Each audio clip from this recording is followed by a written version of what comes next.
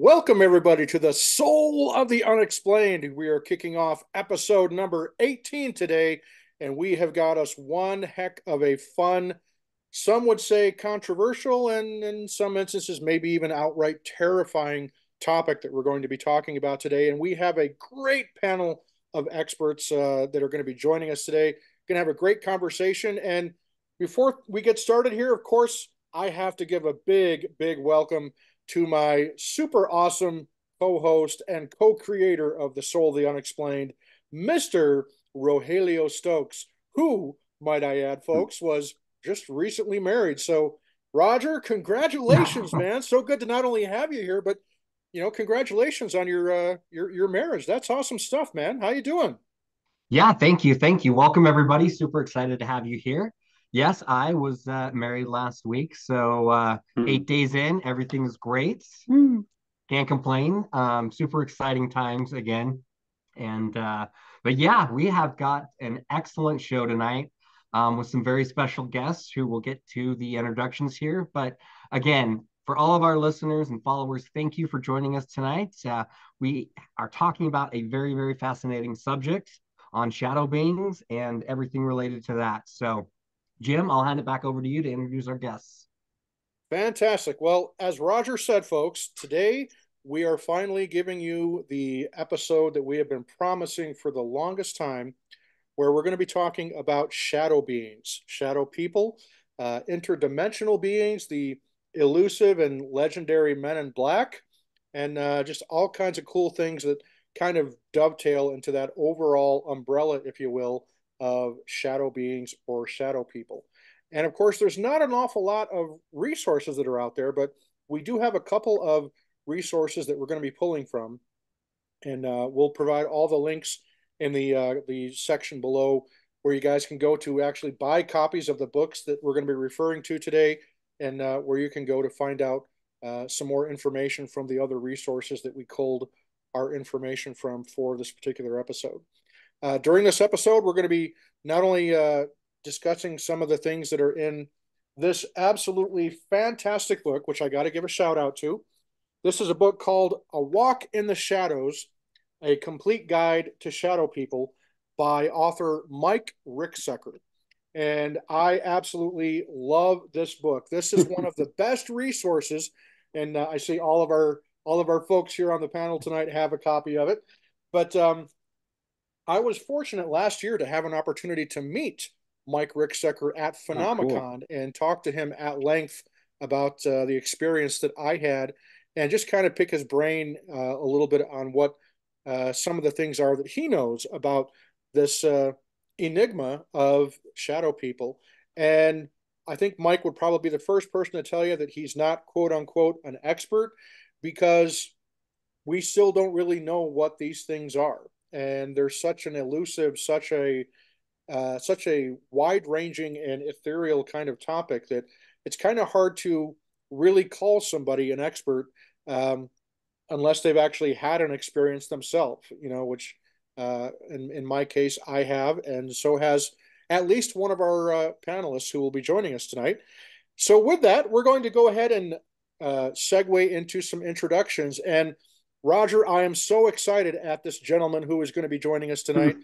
because I've had the uh, wonderful privilege of being a uh, co host and a guest on one of the uh, many podcasts that this gentleman by the name of Seth Bridges, based out of the great state of Texas.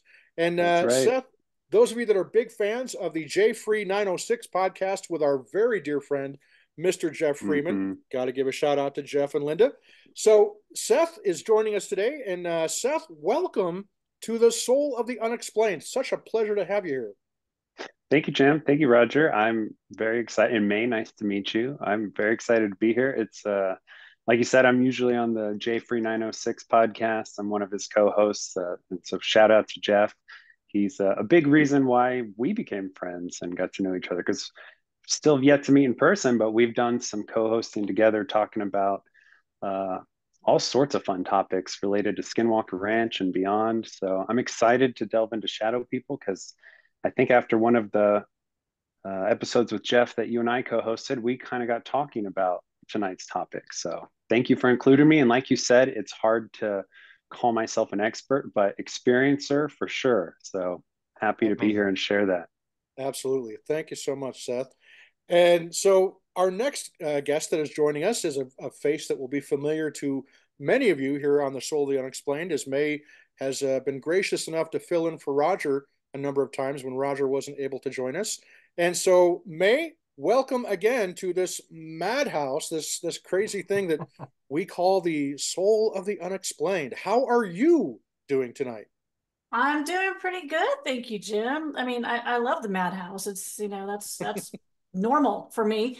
Um, and and you know, like Seth said, I'm not an expert, but I am an experiencer of other things, not particularly in, in shadow people, but some of the things I did read in the book um, really rung a bell.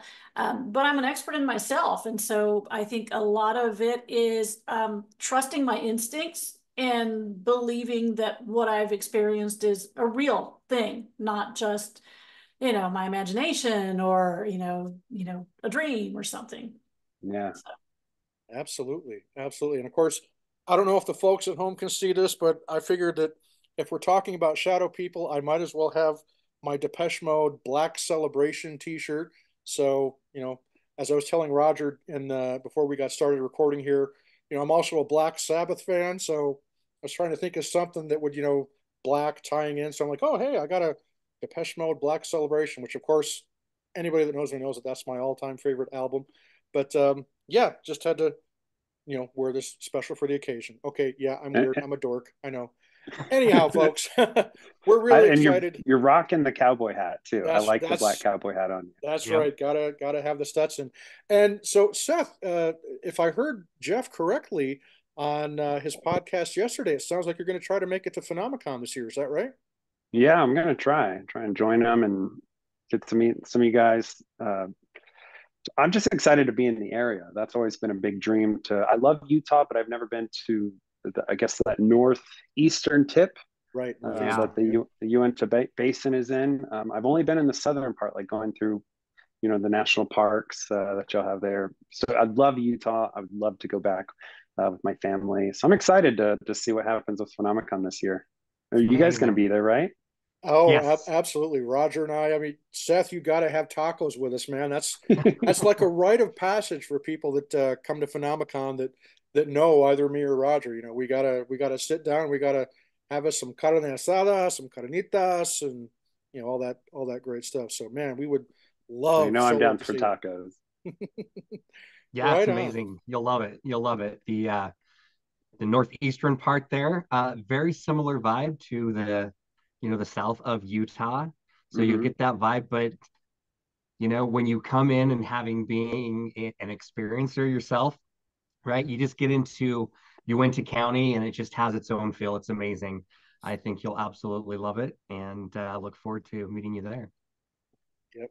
Cool. And it's and like Roger says, the moment you get into that Uinta Basin, you are going to feel an energy unlike anything you've ever felt. You won't it's kind of hard to describe until you actually experience it. But mm. even well beyond the area where where Skinwalker Skinwalker Ranch is located, that whole yeah. basin just has a like an electricity, right, Rog? It's just it's it's just yeah. it's unlike anything else, and so that's why it's it's not difficult to understand why there's all these uh, sightings that that happen, you know, well beyond the boundaries of Skinwalker Ranch, and it it's uh yeah, it's just a real special place. Kind of. Well, I don't know yeah. if you've ever been to Sedona, but it's it's it's not too different from that.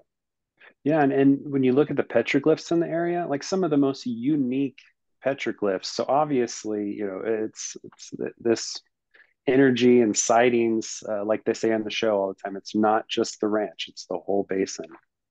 That's yeah. right. Absolutely. Alrighty, well, let's dive in, folks, and let's uh, let's, let's talk it. about these crazy things that are known as shadow beings or shadow people. So, to start off, I figure uh, why not ask the question, what are shadow beings? And a great way for us to uh, to approach that is to read a little segment from this uh, A Walk in the Shadows book by author Mike Ricksecker. And this is taken from the uh, the introduction of the book on page 19. And he says, what are shadow people? That's the biggest question surrounding these mysterious entities, and we still don't have very many clear answers. Are they aliens? Are they time travelers? Are they just dark colored ghosts? Perhaps they are none of these, or perhaps they are even all. So, what hmm. are what are some of your thoughts on that, guys? What do you what do you what do you think? What uh, when when somebody says shadow being, what's one of the things that that your mind just kind of gravitates towards? Ooh, I, am kind of in the all camp, uh, but uh, I, I, I, and something here and not here. It's hard. It's it is so hard to put a to point a put, put a finger on and say that's what it is. Right. Um, so I struggle to answer that question. I I think um, we all do if we're if we're being perfectly honest. I mean, it's and we're gonna we're gonna get into this in just a minute where we're gonna talk about um, Mike Ricksecker lays out kind of like the the five most common types of shadow being or entity that people report when they have one of these instances. But um, Mae, when somebody talks about a shadow being or a shadow figure, what's what's one of the things that comes to your mind on that? Honestly, the biggest thing, or or the majority of them, I feel are interdimensional observers. To me, is mm. is the feeling that I get um, when you go a little bit further and you you think about the ones that have kind of a malicious feeling to them.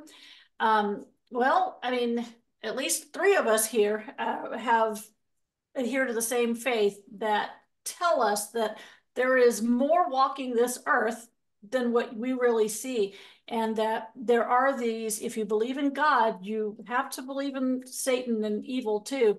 And there are these third of the host of heaven whose only job is to lead us astray. And so i feel that sometimes when we're looking at malicious entities that this could be that manifestation. Um, and so it comes down to who's imitating who. Are they imitating the shadow beings, the interdimensional beings that people have experienced? Um, to kind of try to slip in there, you know, and and yeah, we're one of these guys. Um, it, it kind of makes me feel like there there's that imitation possibility, mm. uh, especially when you are able to actually feel a, a different vibe coming from them.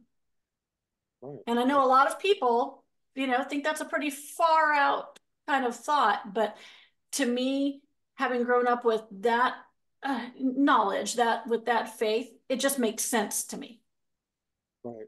Well, let's uh, you, you bring up a, a, a good point there, and that is, and and I guess we should we should emphasize this before we go any further for all of our viewers out there, particularly the viewers out there that maybe don't have a particular uh, spiritual belief or belong to any particular denomination. The reality is, we don't know what any of these things are. They are a mystery.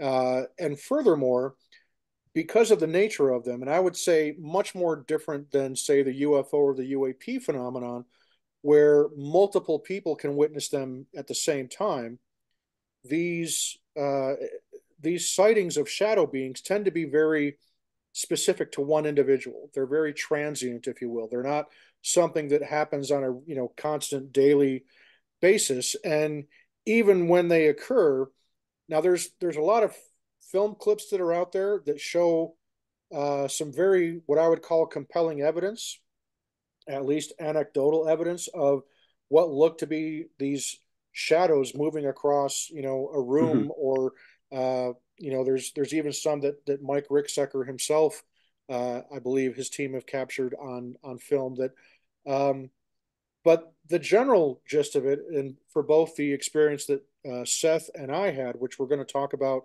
uh, here shortly, these things are are by nature isolated events, and you generally, when you're experiencing them especially when when it came to to my experience and and I think with Seth as well, is you don't have a means of quote unquote recording the events via you know saying oh I'm going to grab a, my cell phone because in my instance I was absolutely terrified. I mean, like literally frozen, paralyzed with fear, you whatever you want to call it. And so because of that, and because we don't really know a whole lot about what these things are, uh, where they come from, why they're here, because of those things, again, there is no real quote unquote expert in the field.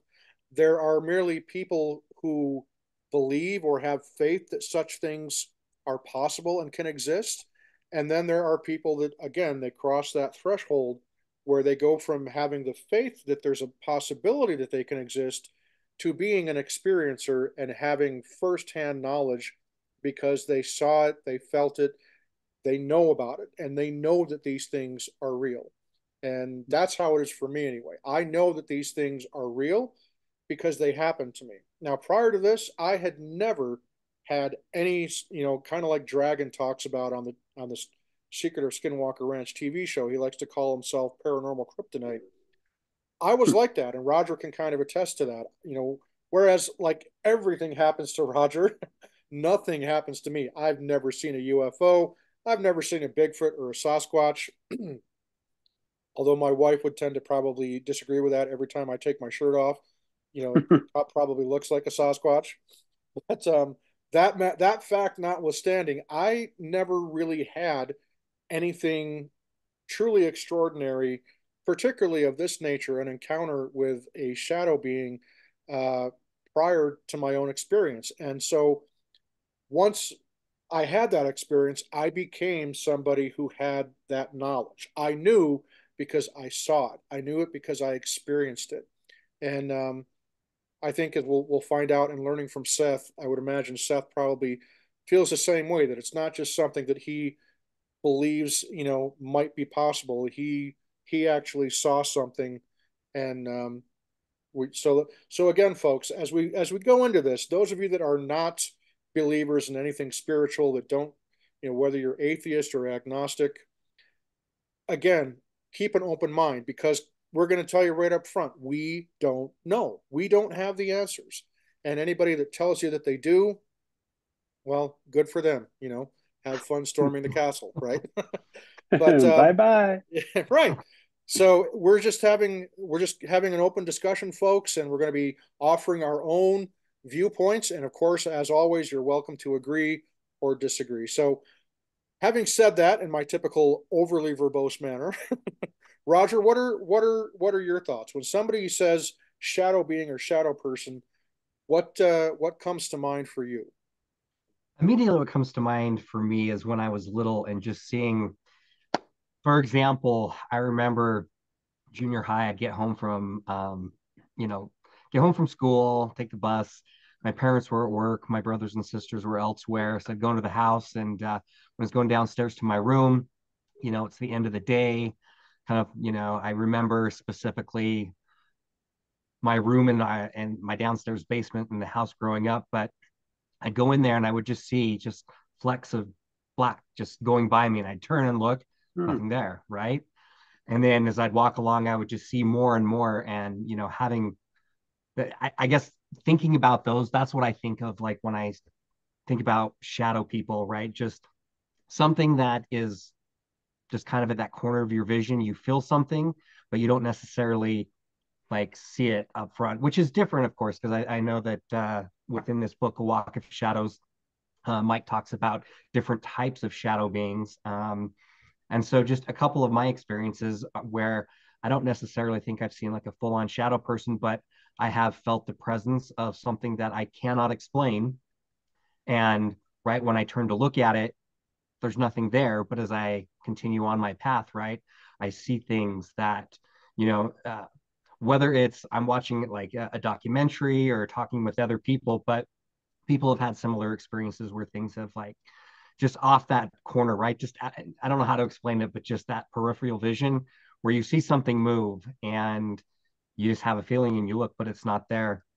And I kind of wanted to to throw something out here and and just get your all of your ideas on it. So I've with some of the paranormal experiences I've had, and I I with this discussion thinking about shadow people, I'm wondering if this is almost a type of shadow type entity or ghost type entity. Yet I don't know, but I've discussed this before with you, Jimm.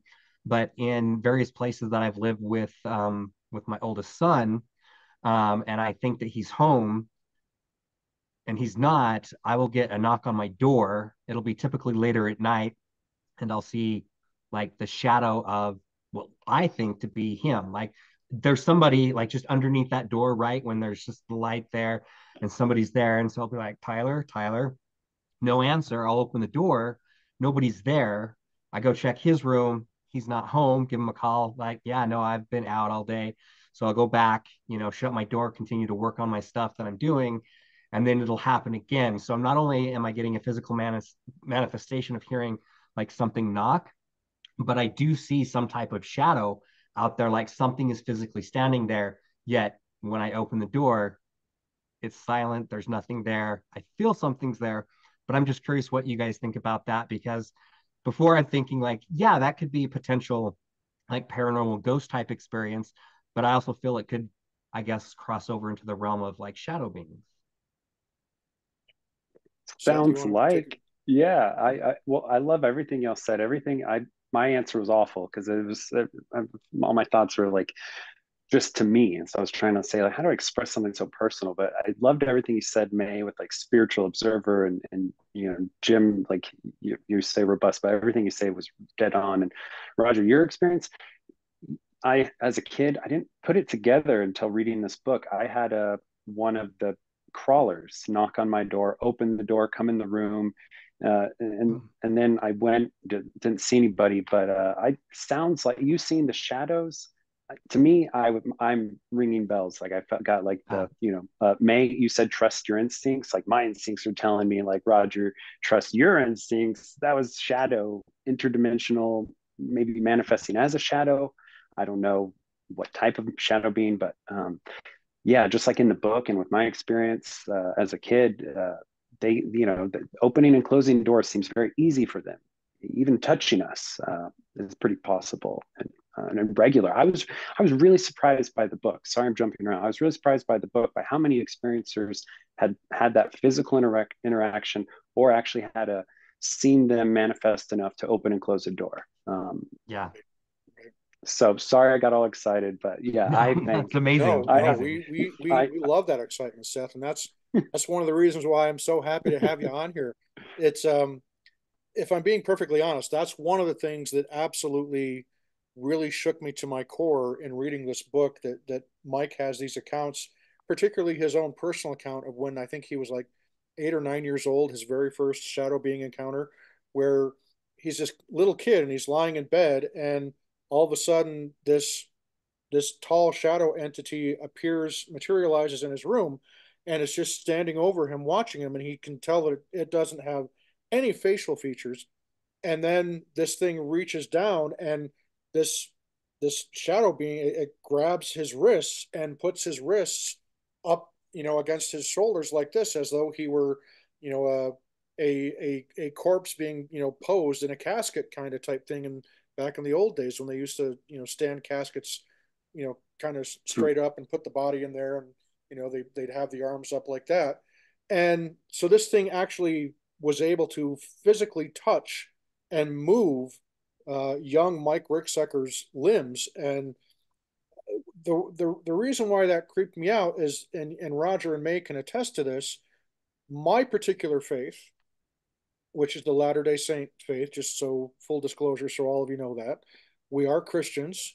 And we we don't we we tend to believe that if there if you're dealing with a a, a disembodied spirit or quote unquote a demon where mm-hmm. you're dealing with an entity that has never had a physical body they're not supposed to be able to do things like this they're not supposed to be able to touch you and so that was where i really kind of was like oh oh my gosh what are we dealing with here because my you know, I, I, as Roger did, I served as a missionary for my church for two years. And so I know the ins and outs of my religion really well. And my religion, my beliefs didn't have an answer for that. And they still don't. And that's part of the reason why I am having difficulty reconciling.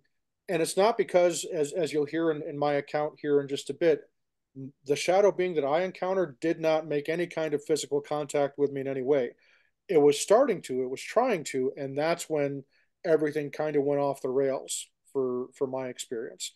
But um, reading these accounts where these shadow beings are actually able to, like you said, Seth, materialize to the point to where they can uh, physically affect their environment in, in regards to opening doors or moving a curtain or you know actually touching somebody like happened with mike ricksecker when he was a child. Um, that's not an insignificant thing. Am i am i wrong here? Any anybody want to offer a thought on that no you're not wrong at all it's uh it, it, it is hard to like you said, it's it's hard to find an answer in anybody's religion or anywhere. It's it's uh, I don't. The funny thing for me is, like you were saying, you know, a lot of people that experience this start off, maybe they believe it's possible, maybe they don't. I was in the totally, I was agnostic about God. I was atheist about ghosts, demons, mm-hmm. a- aliens. As a kid, I liked all that. I was very spiritual, uh, religious as a kid, but as an adult at the time of my shadow person experience, I was like, none of this is real. Maybe there's a God, nobody knows.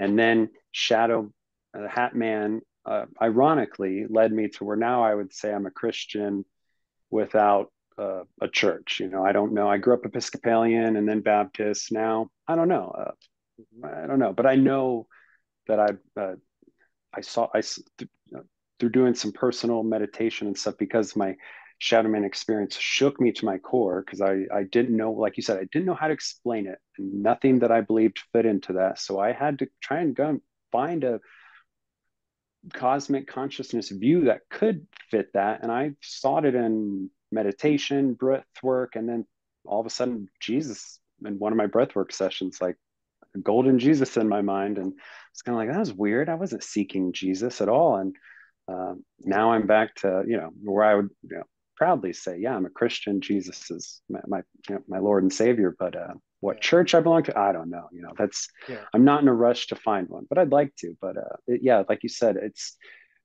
am I going to find a church that will explain to me what shadow people are? No, I, I think we just have to be okay with not knowing. right.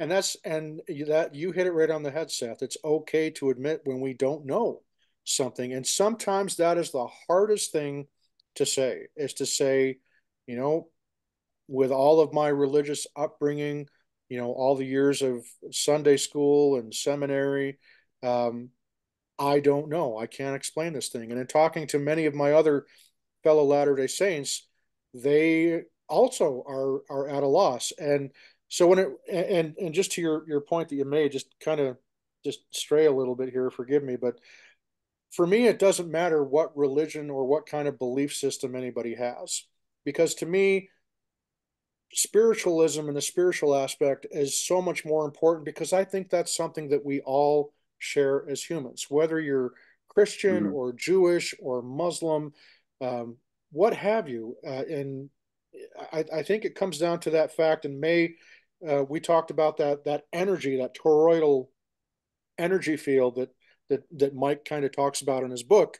Um, that you can sense, uh, uh, you know, when people say, "Oh, that guy's got a, I got a bad, a bad vibe. He's got, you know, bad juju coming off of that guy."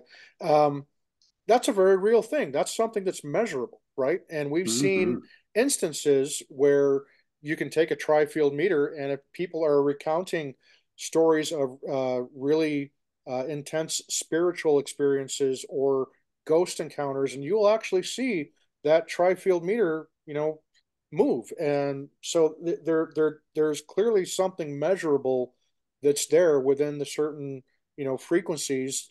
And that right there, I, I think, is a key word to all of this: is frequency and vibration and consciousness. I think it's all you know I, I don't ask me how it all fits in but i think that all three of those things frequency consciousness and um, vibration because obviously frequency ties in with you know vibration but then mm-hmm. you know consciousness your whether you call it your spirit your soul your life force your energy your consciousness i believe that's what makes us who we are and i think that mm-hmm. that's the thing that when we experience physical death, I don't think that's the end. I think that that essence of us, that consciousness, that spirit, that soul, I believe that that lives on. And where does it live on? I think it lives on in another what we would call dimension, another mm, space with another space within our, our own space, as it were.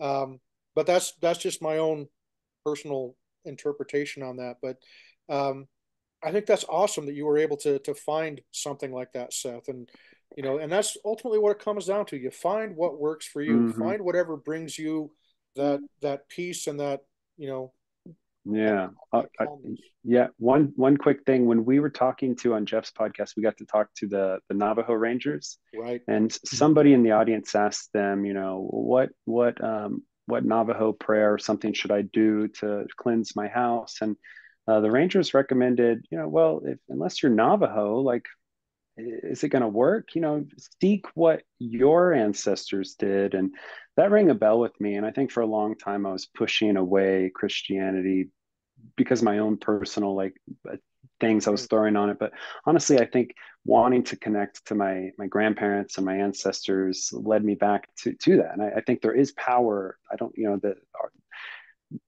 then death is not the end of our communion with one another. I, I think I can call out to my grandparents and I know I've had stuff happen where I asked my grandmother for help and right away she answered. Um, so I, I, yeah, I think uh, experiencing something like that can can really have beautiful, profound effects and, and make while scary can make you realize that there's so much more and this isn't the end and we're, we're going we're going somewhere. I think I think we're meant to die. I think uh, I think this new age uh, no live forever. I think it's a trap. We're not meant to live forever what in nature lives forever? Nothing. Around things to do. to go way off track there. Yeah. So Roger, I on on your experience, I have a question. Is when you were experiencing that, how did you feel? I mean, what kind of vibe did you get? Were you frightened? Were you just curious? Were you, you know, nonchalant? Yeah, no, that's a really good question. Um, when it first happened, I didn't feel anything.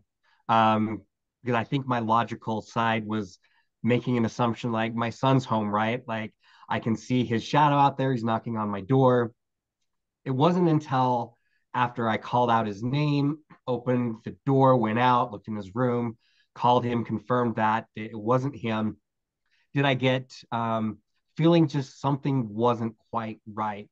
And I've had that feeling other times in my life where I'm like, okay, I'm either being watched by something that I never felt that it was like an entity that uh, had a malicious intent, but it was just something that was observant, something neutral, and almost wanting to see how I would react to the situation, which is interesting because after that happened, um, like I went back in, of course, closed my door, started going again, and then it happened three more times, each time with more escalation, more force being knocked on the door.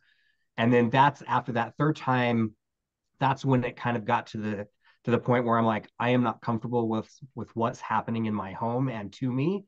And so I couldn't explain what was going on. And at that point, I told whatever there was that they were to leave, not come back. But I was also made the decision to leave because the atmosphere was just so uncomfortable. It was really oppressive that I had to get out of there just to kind of regain that positive energy, go out and feel nature and get it out and just like get that. And I went and talked to my son about it.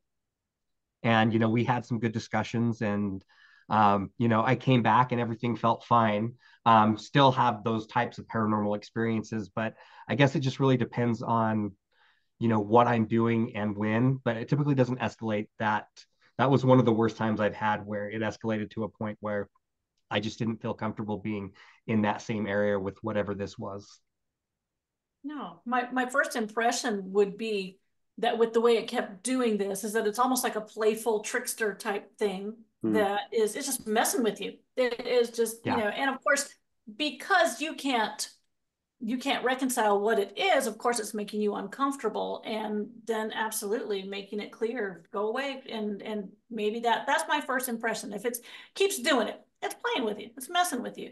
Um, and then in the case that, um, if you had recently had someone close to you pass away, that's the other thing that that I then go to because my husband had an experience where he um, my aunt had passed away and he could feel there was this presence outside our bedroom door. And we had this curtain that only went down so far.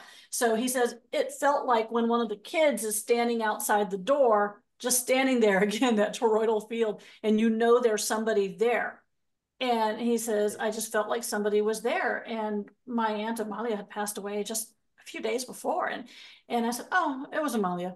That that's it. Hmm. that's and it never happened again but it wasn't as um you know it didn't have any noises knocking and and then just the fact that it can actually create manifest that noise whether it is actually physically knocking because as we said already you know we've been taught that spirits who've never had bodies cannot physically do things.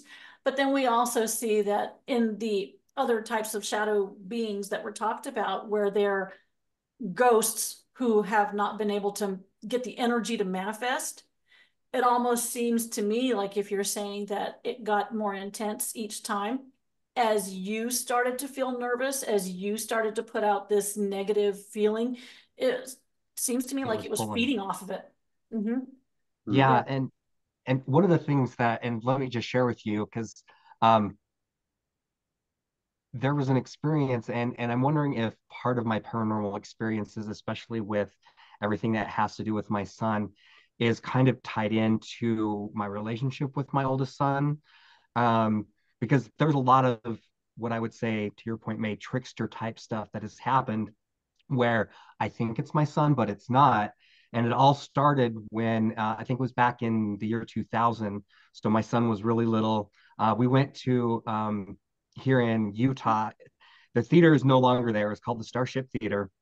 Um, we went to see uh, Toy Story 2, but this theater was broken down. There was like police stuff or police uh, tape said "Do not cross." Half the lights were gone, and um, me, my wife, and my son were, and he was only like three, four at the time, and we're sitting there waiting for the movie to start.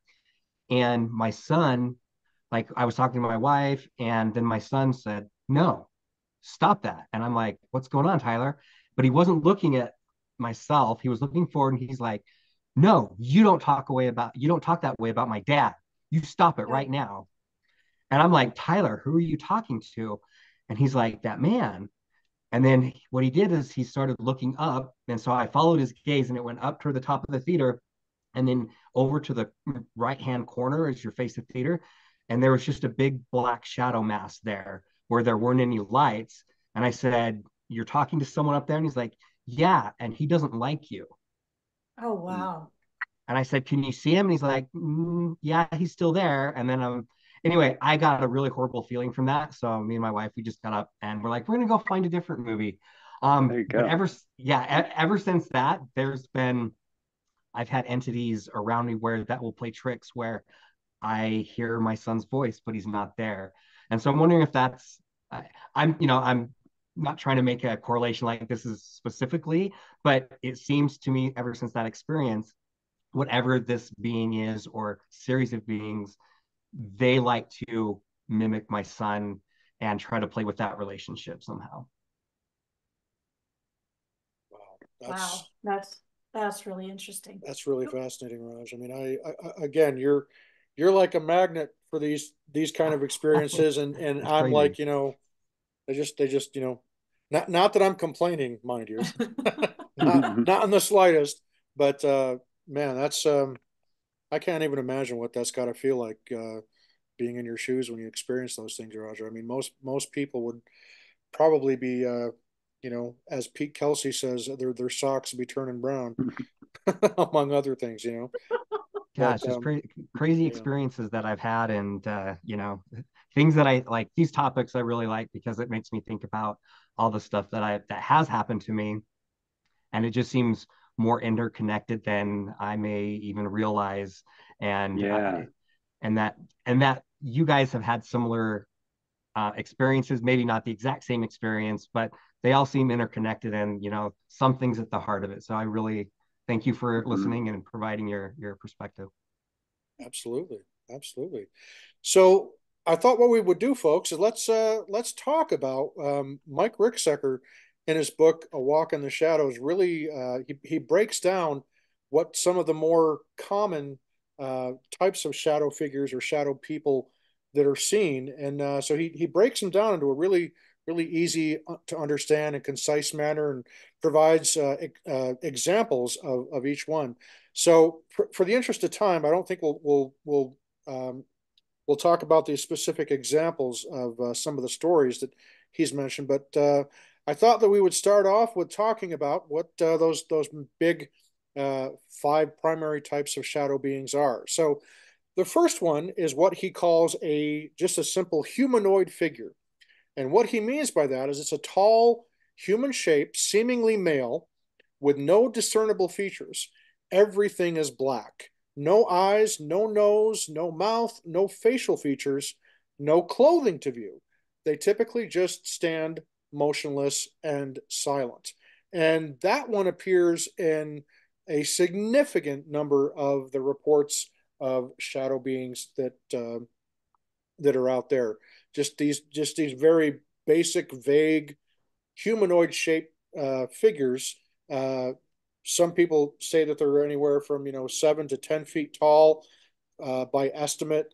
Um, you know, I've I, I I think that one you know makes makes a fair amount of sense to me. The second one that uh, Mike talks about is uh, the one that uh, Seth and I are both going to be talking about in a little bit, because this is the um, manifestation, if you will, of shadow being that both Seth and I saw. And this is a shadow being that is known quite simply as Hat Man. Mm-hmm. So, what is Hat Man? Giving me goosebumps here, Jimm. so feel that energy already. So, Hat Man is the most feared form of shadow being. He is tall. He is sometimes estimated again to be seven to ten feet tall, usually wearing a fedora or a top hat or some other kind of wide brimmed uh, hat. The appearance will seemingly adopt a particular style or manner of dress representing certain time periods. For instance, the fedora wearing hat man is often seen wearing a long trench coat, whereas the top hat variant is sometimes seen wearing a cape or a tuxedo. Uh, they come with an overt sense of fear or dread and a feeling that it is there to terrorize, menace, or otherwise inflict some kind of harm. It is sometimes accompanied by other shadow beings of humanoid form, not necessarily other shadow beings of wearing hats as well, but just other vague shadow beings sometimes accompany this hat man. And hat man is considered to be like uh, what Mike refers to as an emotional vampire, and that it seems to feed and draw power from the fear or negative energy of the experiencer. And all that I can tell you, folks, is that to a T fits what I experienced in my uh, Hatman manifestation that that uh, I had last year. The third is what he calls red-eyed entities, and these are devious entities who, much like Hatman, come to menace, terrorize, or to oppress in some way. They have deep red eyes, which contrast alarmingly with the otherwise complete blackness of their other features.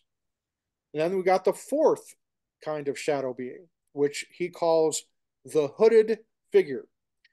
And hooded figures are considered menacing in nature, although not as menacing as the Hat Man being. Worth taking note that sometimes the hooded figure has also been seen as almost benevolent as opposed to being there to torment, or to terrorize. Some people perhaps equate the appearance of the hooded figure shadow being to that of the Grim Reaper, and therefore equate it with an impending sense of death and or doom. Although the Grim Reaper itself, if it exists, would not be considered a shadow being because its purpose, if you will, is merely to collect or gather souls of the departed and then lead them to the next realm or dimension or state of existence, what have you. So, at least with the hooded figures, there seems to be some indication that there is uh, maybe possibly some benevolent actors among the hooded figure shadow beings. which I found to be rather kind of interesting. And then number five is a manifestation that Mike refers to as the wisp.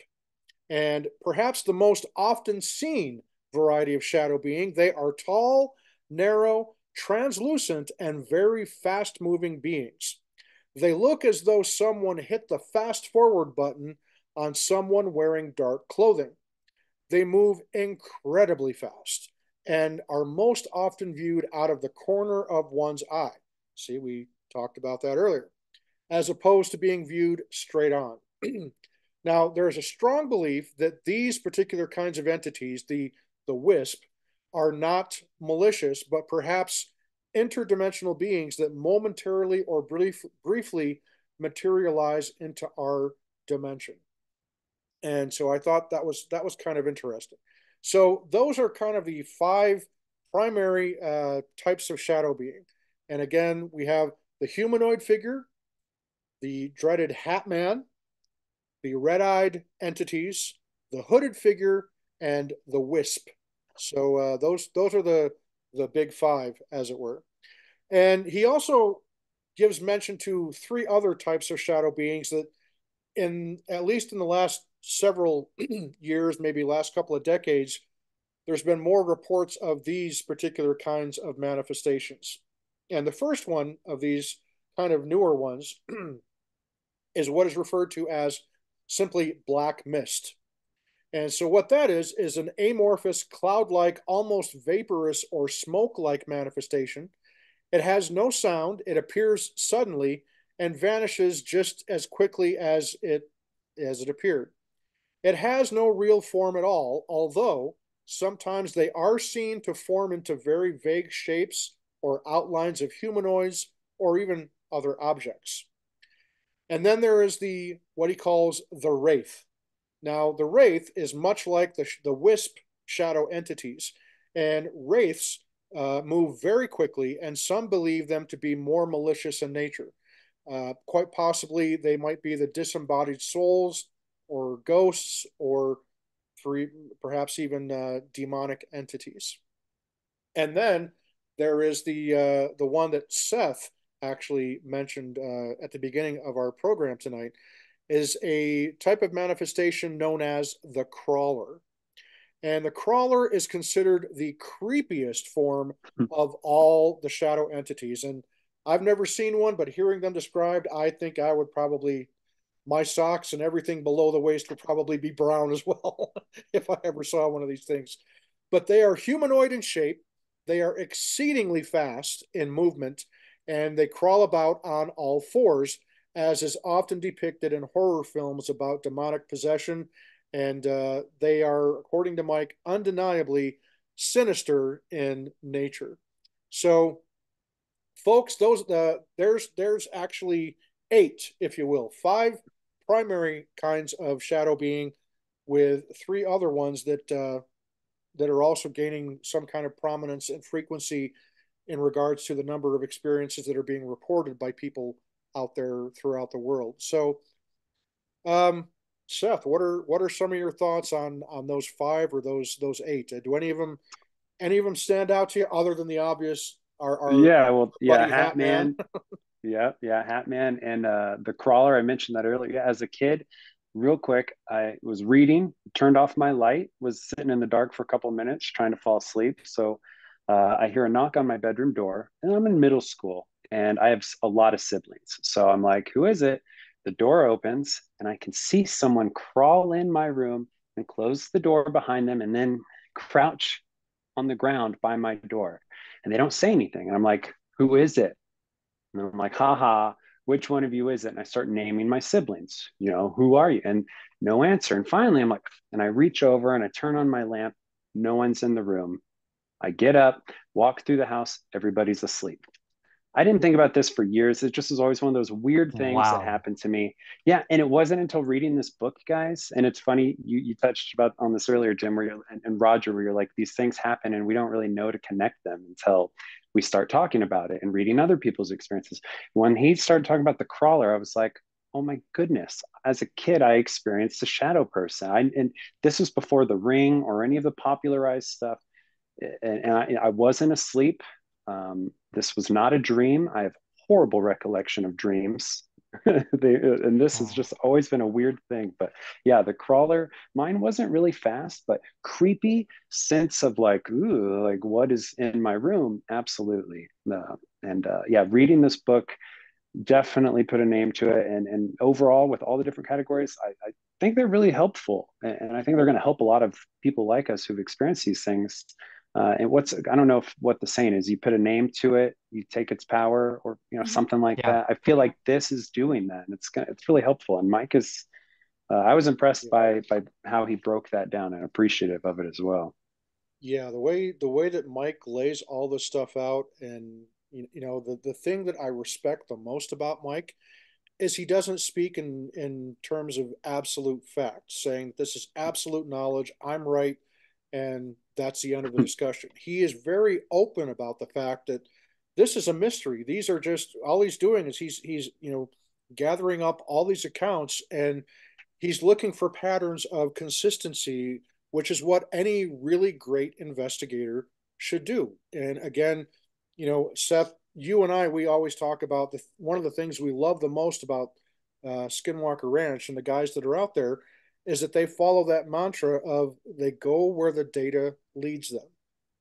And any yeah. investigator worth their salt, that's what they should be doing is trying to avoid, you know, okay, I've got my little clearly defined box of what I want this to fit into. So I already have my determination of what this is. So that's where I'm going to go. And that's that's the danger of all of this, of anything pertaining to the unexplained, whether it's UFOs, UAPs, cryptids, shadow people, you name it. If you have a preconceived notion, you know, avoid jumping on the bandwagon. You know, really try to, you know, do your research, do your homework, talk to other people. And that sometimes is the hardest thing is breaking that stigma. I mean, it has been for me. I mean, I I have struggled with my experience for the last year. In fact, we're almost one year ago to the day that my mm. experience mm. happened. I mean, that's you know my my hair is already standing up on my forearm.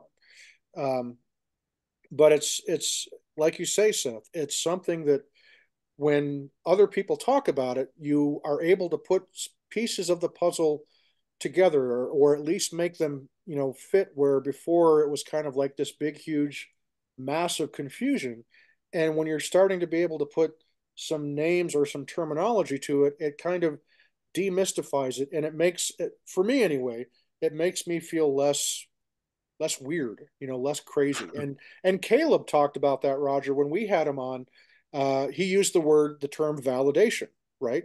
When you yeah. find out that somebody else had the same exact kind of experience that you did uh, even if it's not you know completely to a t but even more so when it's like that's exactly what i experienced you get that validation.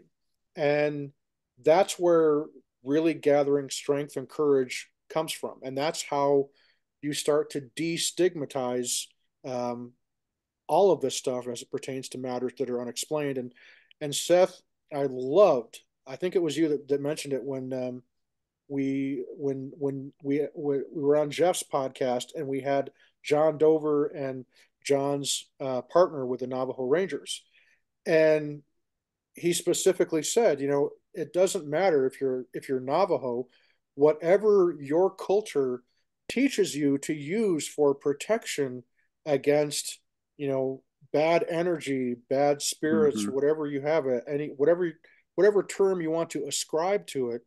Um, and I thought that was really interesting because if you if you really pay attention to Mike's book, he's kind of saying the same thing because obviously he he tells about how he came from a Catholic background so, of course, Catholics, one of the things they carry around is rosary beads, um, crosses. They mm-hmm. have this belief in, in holy water. And it doesn't really matter if you, the viewer, are watching this, and if you're not Catholic and you're saying, oh, well, I don't believe in rosary beads, or if you're not Christian, or if you're, you know, if you're Jewish, whatever the case may be, whatever it is that that you feel will work to help protect you and guide you that's what you go with. And that's where I get back to that whole umbrella term of spirituality is far more important because we all share that in common. We're all mm-hmm. human beings. We all there's there's that, you know, and if you want to break it down into non theological terms. There's just that energy that we all have as human beings.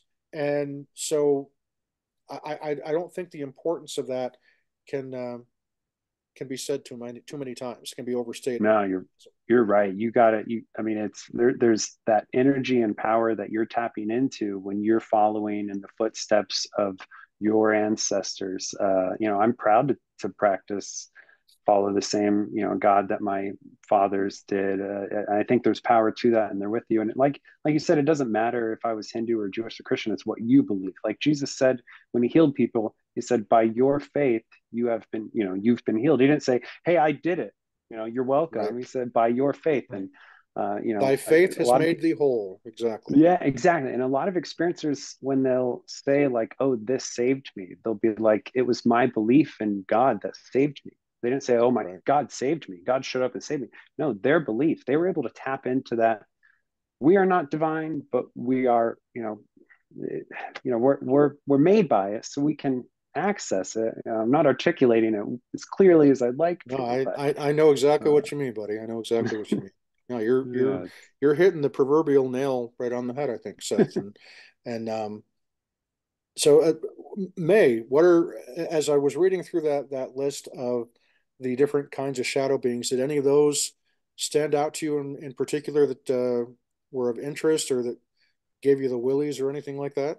Oh, those crawlers definitely give me the willies. And Seth, the fact that this thing closed the door behind it, that's even yeah. more sinister. Um, well, at least it was considerate to close the door. Right. You know, But I, I was um, telling my wife that story and she reenacted it and it scared me oh so much. Goodness. It was like I was back in that room. Oh my gosh, that is crazy.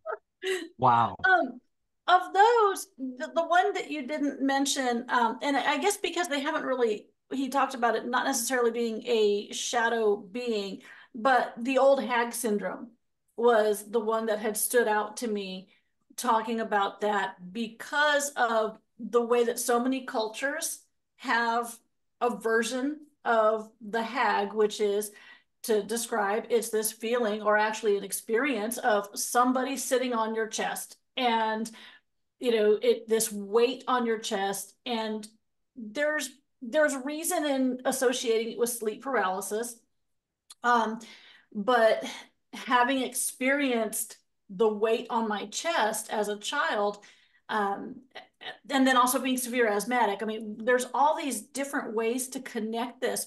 But reading about that, about the old hag, I thought, oh my gosh, that's that's pretty much what I felt when I was a kid. And it was an experience in which I was about five years old. I was sick, sleeping in my mom's bed, and I was asleep, but I was aware of the room around me. But in this case, there was this track on the ceiling that was lowering uh, bundles of fabric. My mom stored her fabric in these really cool fabric bundles, but this bundle was being lowered from this track onto my chest. And so I, mm. I equate that with the hag. And it was on my chest, and I could smell um, ozone, burnt electronics. And mm. this was just something that stuck with me. Five years old, and right around that time is when I was diagnosed with uh, some pretty severe asthma and just a dream that always stuck with me. Fast forward about 14, 15 years, and I've got a pretty bad case of pneumonia, had about a 40% lung uh, capacity working when I was admitted to the hospital. And I'm laying there in my hospital bed, and I look up at the ceiling and I see the track from the curtain that goes around the bed. And I feel this weight on my chest of having 40% capacity working. And then in my nose, because I've got the, the tubes in my nose, I can smell this very oh. ozone smell. And so reading about that and reading about, you know, the, the, the hag, um, and also then considering time slips and and the different things that he discusses in there and i thought wow i always knew of course at 19 i knew i dreamt my own near death because it wasn't until six months later that my doctors told me one more day and you would have been dead um, wow. so i'm like was this a warning? Was this a be prepared? Was this a time slip in which I experienced this, you know, 14 years in advance? Um, it, I found that very fascinating. So I, am going to be looking more into the hag. So interesting. Roger, how about you? Any of those uh, entities that that uh, Mike listed out? Any of those stand out to you, or anything? Any thoughts you have on it? Uh, yeah, I think the the two that stand out the most to me is the because um, I've had uh, people that I know have talked about seeing shadow people, but the thing that they remember the those red eyes and that they see them and then once they look at it sees all those red eyes and it just like it's gone right? And um so definitely that's something that i think a takeaway topic for me is to really research that some more to try to understand that. And then what you talked about again is just that kind of like shapeless mass um because that was very similar to what happened when i was at the theater looking up and you know there was something there that was shapeless. It wasn't it wasn't just dark. I mean i could actually physically see a mass. So those are very interesting. But i do have to say that uh, part of me just uh, i'm really really curious about the hat man because i've never seen the hat man and really want to understand your experiences more both seth and Jimm. Right on. Well cool. Let's uh let's kind of segue now that we know the different kinds of shadow beings and entities that are being reported out there, let's talk about uh, the interdimensional aspect. That's that's one of the the possible scenarios of what some people think these uh, shadow beings might be is interdimensional beings or entities of some kind. So when we say interdimensional beings, what exactly are we talking about? Uh, what is an interdimensional being. And the thing that makes that particular statement hard to explain away is because, again, we don't have a lot of data to actually give us some kind of a, you know, to form a solid hypothesis that we can then verify or falsify. So, interdimensional is kind of open to interpretation, I think. So, when when I hear the term interdimensional, what I think of is there is a um, a being, whether it has a what we would call a physical body or not. Uh, for now, we'll say that that particular aspect is irrelevant. We'll just say that they're these beings, these their energy, again, their consciousness, their life force, whatever you want to call it. I believe that they exist within the same space that we do on this world, perhaps. Like for instance, if we could have that that uh, barrier that separates the living from the spirits of the dead or the disembodied, if we could, you know, peek through that veil, as it were, and see into quote unquote the spirit world, what would we see? Well, I believe that we would see a world that looks exactly like ours. It looks like maybe perhaps even a mirror type of a world to ours and we would see these these beings, these these uh, this energy, these you know we we we'd see our deceased loved ones, we'd see all these other people that have passed, but they occupy the same physical space that we do, if that makes any sense. But perhaps what it is is they're vibrating, their energy vibrates at a different frequency than ours, and therefore we're not able to see it with our own eyes, but as Mae and we've talked about already, that toroidal energy field, I think that that's probably something that not just people that have a body of flesh and blood possess, but I think that that toroidal energy field is something that uh, these other beings, that these, you know, uh, whether they are bodies of the deceased, uh, you know, spirits of the deceased, or whether they are just beings that for whatever reason, they live in a different dimension, a different plane of existence than we do. Um, you know, and, and Dr. Michio Kaku has uh, gives this great uh, description of imagine if you're in a beautiful Japanese garden, right? And you see this lovely pond with goldfish or koi, as they call them, you know, K O I, big, gigantic goldfish. and you see them swimming in the pond, right? We can see them we don't know if they can see us necessarily, but what happens if we were to reach down and, you know, catch one of these koi and pull it out of the water? Imagine, you know, what is going to be going through the mind of that that fish that is now he's been pulled out of his environment where, you know, call it his dimension, underwater, where he's swimming around, where he can breathe easily and he can move, you know, freely in whatever direction he chooses to and all of a sudden he's in this new realm and there's this creature that he just he's never seen before. He can't he has no idea how to begin to explain this bizarre creature that lifted him up out of out of his his realm his dimension his world. And all of a sudden you know he he can't he can't breathe right?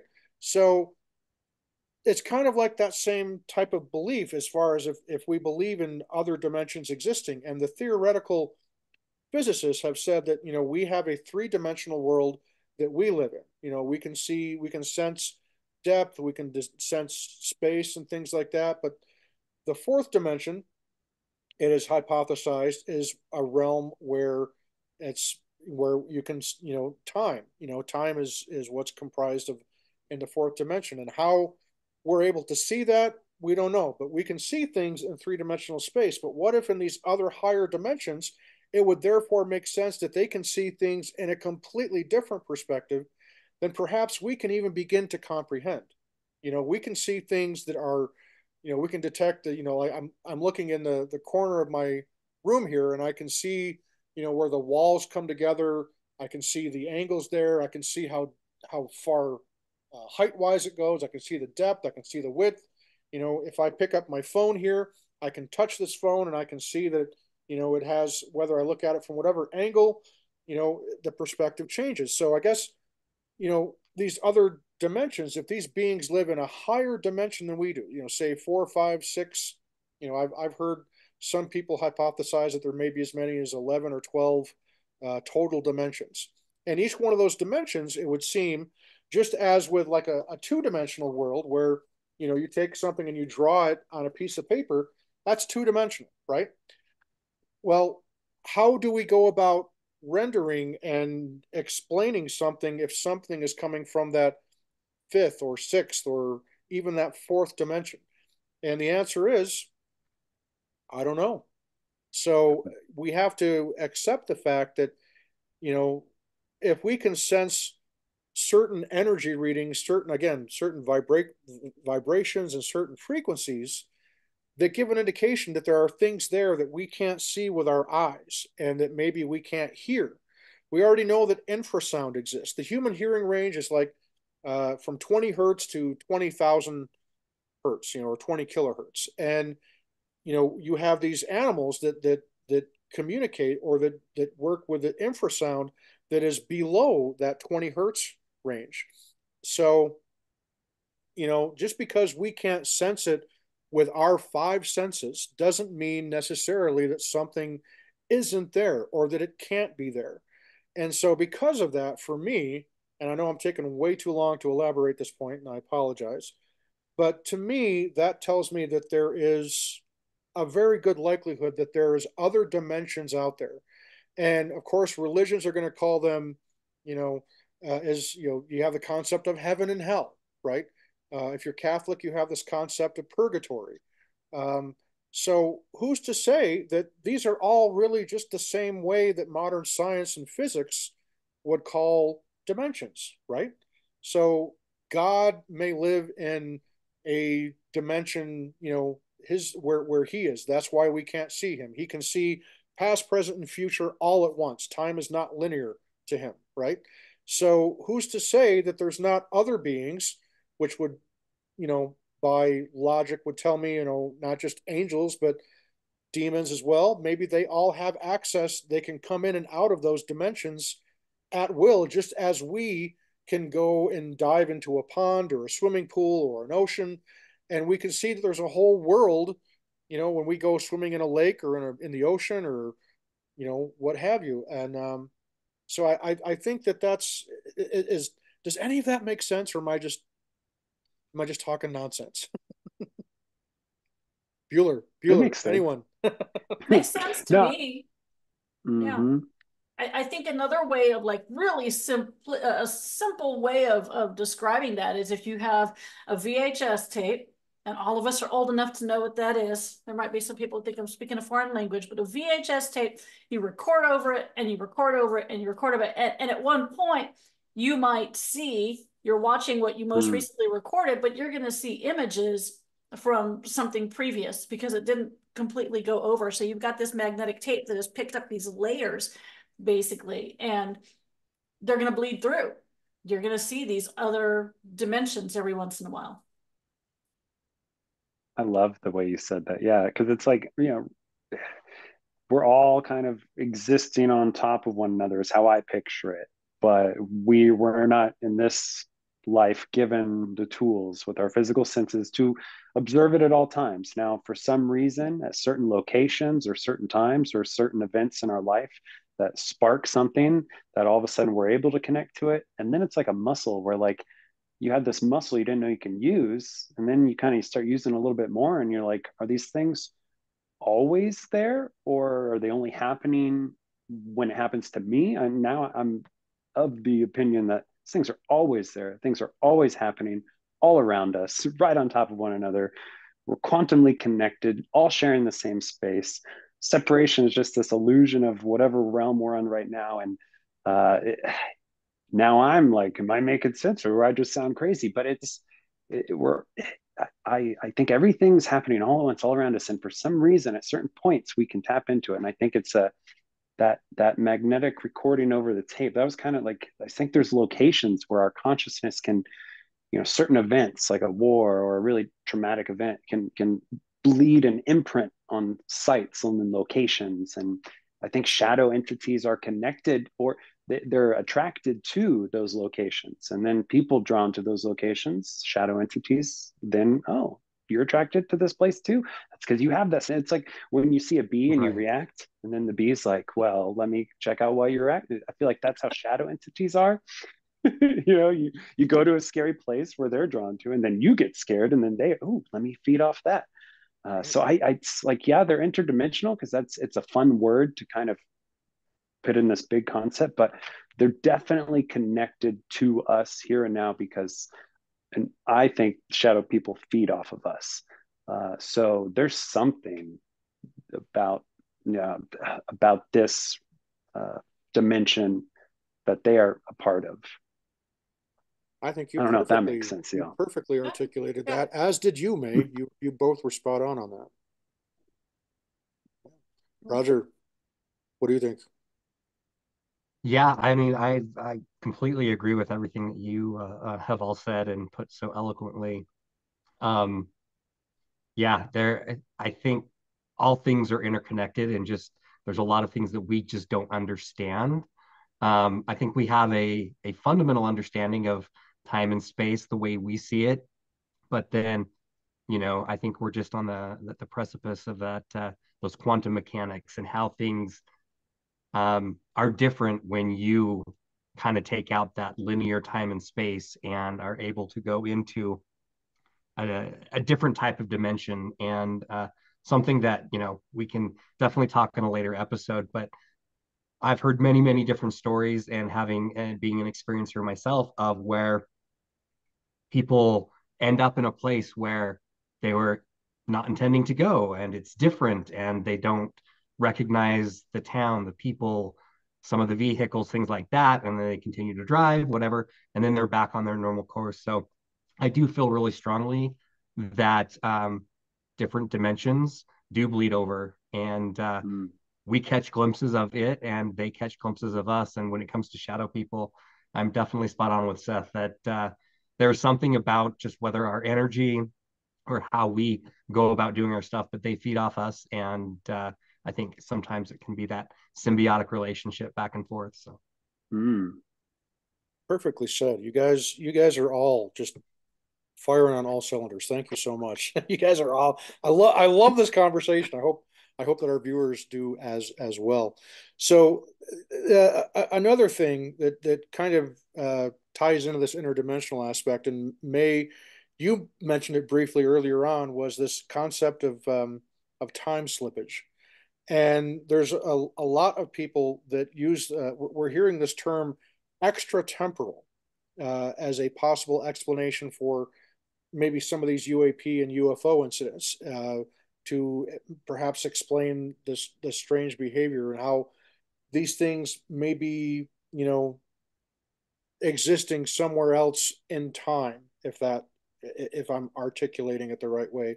So and and Mike actually talks about it not not so much in the Walk in the Shadows book, but this this is his latest book that Mike Ricksecker wrote, and it's fantastic. We just finished reading it in the uh, Skinwalker Ranch uh, Insider Discord uh, ranch readers um, group. So I got to give a big shout out to uh, all the uh, folks there at the uh, Skinwalker Ranch Insider Discord. had a great time reading this, and this book is called travels through time inside the fourth dimension, time travel, and stacked time theory. And again, it's from uh, Mike Ricksecker.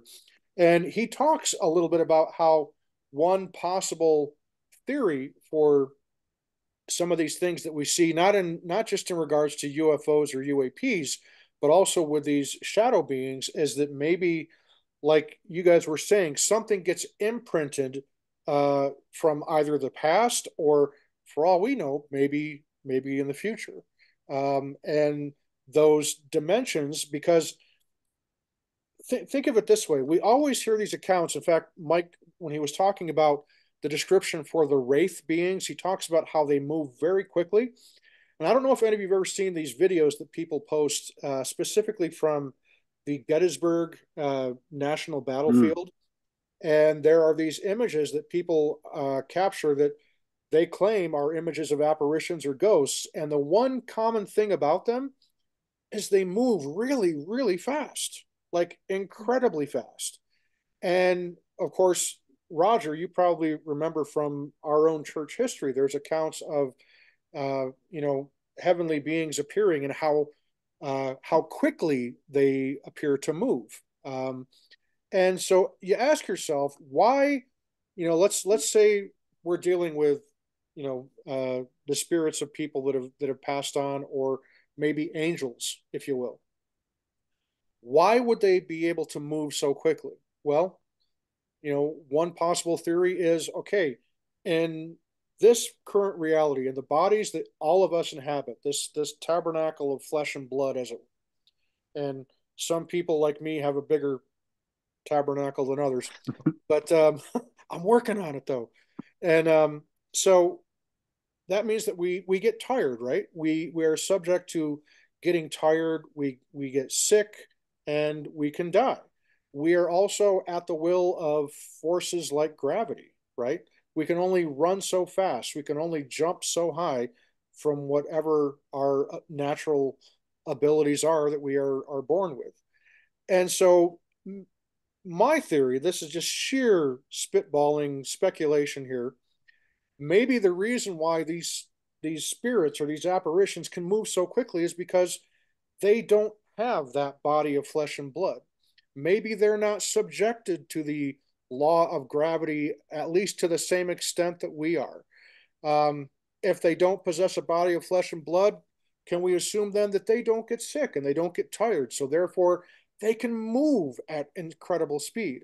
Or is it more simply just the reason that because you know they they exist in a different dimension that time is reckoned differently there and time passes differently there because they they exist in a different plane where the frequencies and vibrations are so different to what we experience here in our collective 3D reality. And these are the things that keep me awake at night, folks. so yes, I know I'm going way off into left field, and I apologize for that, folks. But just it's just one of those things that I I, I think about. It's like you know maybe, uh, and a lot of times we hear these accounts of what you know when people have a dream of seeing a departed loved one, or if they actually see an apparition of a departed loved one, and when they claim to have a communication with this apparition or this this entity that appears to them a lot of them talk about how when they're when this thing appears to them their mouth isn't moving. They're they're speaking like telepathically from you know mind to mind. Well, I've got a theory for that as well. Maybe that's because again, these things don't have physical bodies of flesh and blood, right?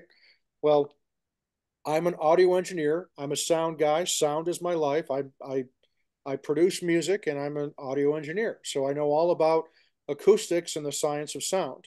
And on a very, very fundamental, very basic level, what is sound? Sound is nothing more than air molecules banging together. And so when human beings communicate, how do we how does that physical process work? Well, we've got vocal cords, right? We have vocal cords that vibrate, and because of the uh, for want of a, a, better word, the density of your head, and let's face it, some people are pretty dense, right? Like like me. But um, in all seriousness, though, there are different things that cause the factors for the type of voice, the tonal characteristics of a voice that you as a human being have. And it's why everybody has a little bit of a different voice. So if you no longer possess a body to where you have vocal cords that are vibrating, would that not make sense then that if you're going to communicate, you're communicating with what? With consciousness. So it would there makes it would make sense to me anyway. And yes, I know we have derailed big time, Jimm, and I'm sorry, but I just got to finish this point. So forgive me, folks. I'm so sorry. But maybe that consciousness is really what the prevalent life form is in the universe, what we are. And when we when we finally shed this body of flesh and blood, we become part of what the greater presence of quote unquote life is in the universe. Maybe there really is life literally all around us in the universe. And it just doesn't have the same, you know, flesh and blood characteristics that we have. And maybe because we're not able to see into these other dimensions, maybe we're not able to see, you know, these things, whether that's by design, I don't know. We can speculate on that all we want to. But it makes me wonder if maybe that consciousness that we all possess, that thing that we take with us, as it were, when we die, all that, all the love and all of the the things that we learn, I don't think that we leave that here when we die. I don't think those things decay and just go off into nothingness um, after we experience what we would call physical death. I think that consciousness lives on, and I think that consciousness that is us lives on in another dimension. Um, and again, there's me going so far off the rails. So I'm sorry, folks. Eddie, I'll, I mean, I'll, you could I'll even shut, say, I'll shut up now. Jimm, you could even say that uh, not so much that it lives on, but that it just continues to live where it's been this whole time. Right. You know, where maybe we're of the illusion that our soul is here maybe it's already in that realm and we're just projecting you know like this is our avatar and we're just playing a video game back in the soul realm we're in the matrix. Yep. Yeah. Yeah. There you go. So that's you know again i realized woo we went way off no well field. that's i mean that's it's you can't help but take those deviations and side trails when you have a shadow person, interdimensional being, spiritual, what's going on type of conversation. So I love, I love all the, you know, hearing you uh, pontificate on all these different things. It's all intertwined. I mean, yeah. when you're mm-hmm. talking about, I mean, that that could be a whole other podcast because there again comes not having to use your mouth, your voice to communicate and to be able to do that. And I've experienced that also in dreams where I I know I didn't use my mouth. I communicated with an entity, you know, uh, hmm. subconsciously or, you know, yeah, telepathically. Um, so yeah, so write that one down. Another podcast. Another well, topic. It's, it's, it, it's like for me, I, I know, you know, my, my parents have both passed on and I was very close to my mom and dad. And I feel them, I feel their presence around me all the time you know, I know that they're they check in on me. I know that they're watching over me, and you know, I but before they passed, I knew that my grandfather, who I was very close to, who died, you know, almost fifty years ago, uh, I know that he, you know, is still there, and that's that's why I I feel very strongly that that the again that part that is us our our spirit, our life force, our soul, consciousness, whatever you want to call. I I believe that um, its very nature is eternal. I think it probably existed before we were born, before we received the you know the physical bodies, and that's not just my my crazy religion talking. That's just it, to me. It makes sense that it it has a. I think that we're on this journey, this this progression through life, and I think that we never stop evolving. We never stop progressing. And I no. think that this this this place that we're in right now, this 3D reality, this this world, this matrix that we're in, um, I think it's just one of those steps on the journey to wherever wherever we're going. Yeah, I love that. Our soul it doesn't lose the momentum and and the, everything we're gaining. We're not going to lose that. We're going to carry it, keep it on. I, uh, my my thoughts. Yeah, agreed. Because I yeah I used to kind of like you know when I was agnostic slash atheist, I would kind of feel like, well, it's going to suck when all this work, you know, and, and exploration when I die and I just go to eternal blackness, you know.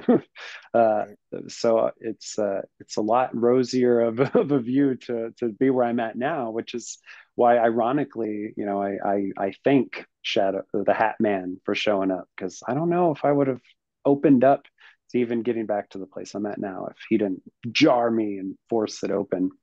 Right. So let's let's kind of uh, take a little detour here away from the interdimensional and talk about something else that is considered to be kind of shadowy, and that is the uh, the legend and the mythology of the mysterious Men in Black. And mm. uh, by Men in Black, I'm not talking about Johnny Cash, even though he was the Man in Black. Uh, not talking about the Raiders, not talking about Darth Vader, uh, and you know, as has been popularized in, in culture, the uh, we're all familiar with the movies that had uh, Tommy Lee Jones and Will Smith, uh, the you know, comic book series about the Men in Black and all that.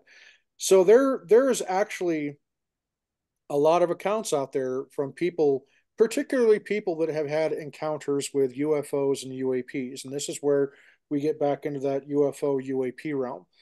And these men in black are kind of like these these uh, mysterious, sometimes sinister uh, beings, pe- people, you know, physical physical beings, and sometimes they are very clearly because they did they they introduce themselves as being agents of the government, of the United States government.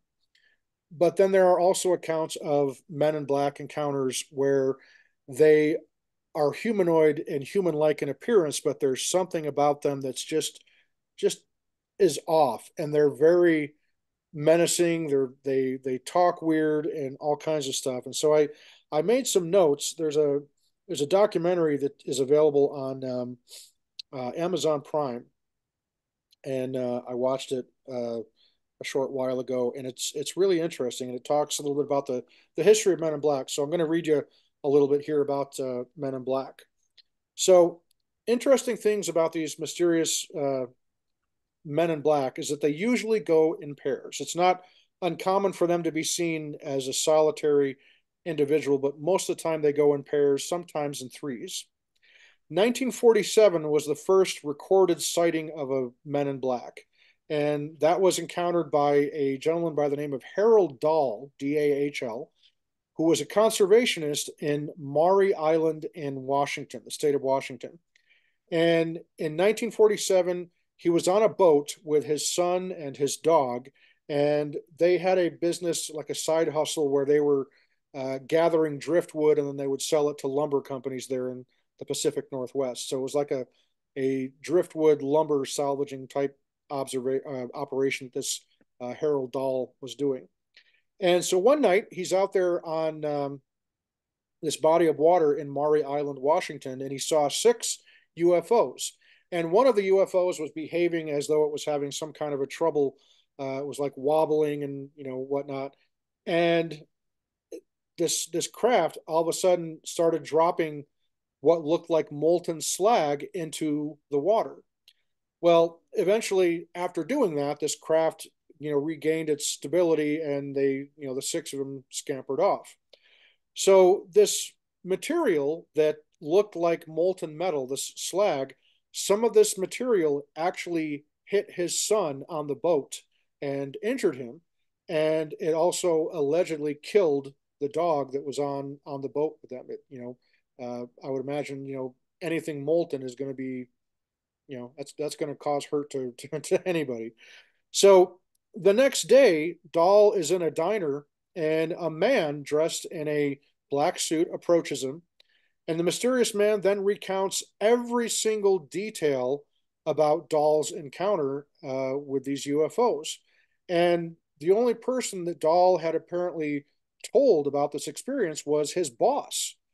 And so the mysterious man basically told Dahl, he said, "Look, you're you're not going to pursue this any further, and you're not going to tell anyone about it. You know, kind of like if you know what's good for you, you're you're going to keep your mouth shut." So the Army Air Force, and again in 1947 was when the Air Force was actually created. So this happened actually, I believe, a couple of weeks or a couple of days before the legendary Kenneth Arnold sighting, which happened before the Roswell incident. So this was still the Army Air Force is what it was called, not not the Air Force. So the Army Air Force sends a plane to retrieve this mysterious slag, and the plane inexplicably catches fire while it's in flight and crashes, and the entire crew perish in this crash. And no record currently exists of what happened to either the uh, the wreckage of the the aircraft or, more importantly, the secret cargo of this mysterious slag that was dropped from this UFO. So in 1952, there's this uh, author by the name of Albert K. Binder, and he was the first person to coin the term Men in Black. And he wrote this book in 1962 uh, with a gentleman by the name of Gray Barker. And this book was called Flying Saucers and the Three Men. And as far as we know, it's the first written account of Men in Black. And basically, what it is is uh, this um, Binder guy talks about how these three shadowy figures would materialize through the wall. And these figures were dark in nature. They were wearing hats, almost like a fedora style, and Roger, they had glowing eyes. Binder believed that these three men were extraterrestrials that had come to warn him off further research of UFOs. So then in 1964, and if you're any kind of a UFO nut like I am, you'll recognize this name.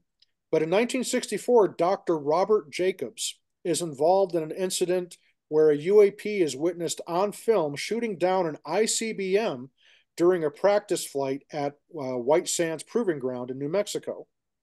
And we've all probably heard of the story about how this there it's a test flight of this uh, uh, nuclear missile basically, and it's been you know it doesn't have a live ordnance on it, but they're filming it. They have this you know professional high speed photography that's filming it from a a long distance away, and Robert Jacobs is this guy. He's this PhD that's like a you know he was filming this, and he gets called into uh, this major's office the next day at White Sands Proving Ground, and they proceed to show him this uh, segment of the film that he shot, where you can clearly see this, you know, classic stereotypical flying saucer craft is actually shooting multiple beams into this ICBM as it's going through its trajectory, and it's literally flying circles around, like you know you got to figure this ICBM is traveling at, you know, probably supersonic speeds, I would imagine.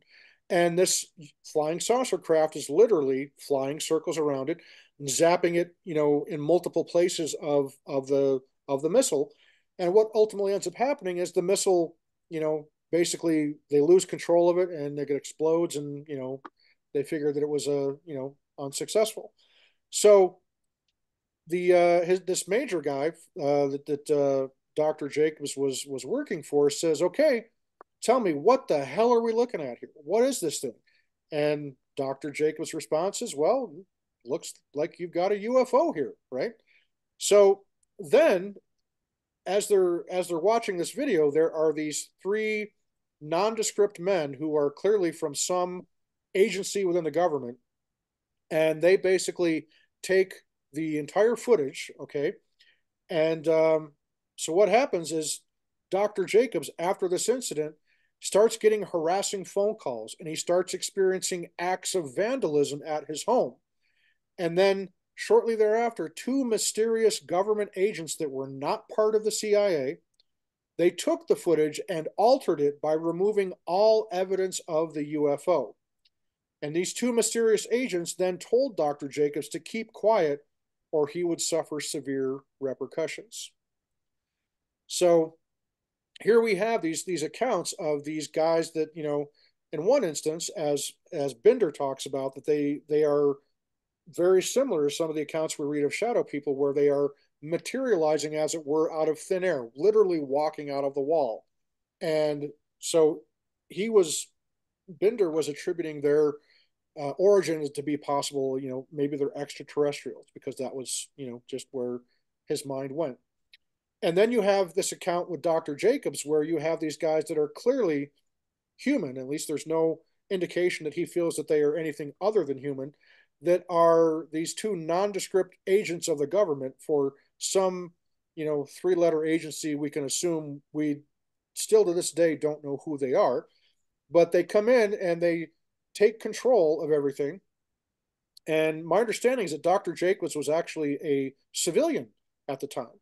So, you know, they can't come and tell a civilian, you know, you got to keep your mouth shut and we're going to confiscate this stuff. I mean, there's technically no constitutional authority that I'm aware of where they can get away with doing something like that, unless they've actually got, unless, you know, that footage is actually like some kind of top secret, you know, national security type of implication of which, as far as we know, there wasn't any. They just simply took it, altered it, and said, keep your mouth shut if you know what's good for you.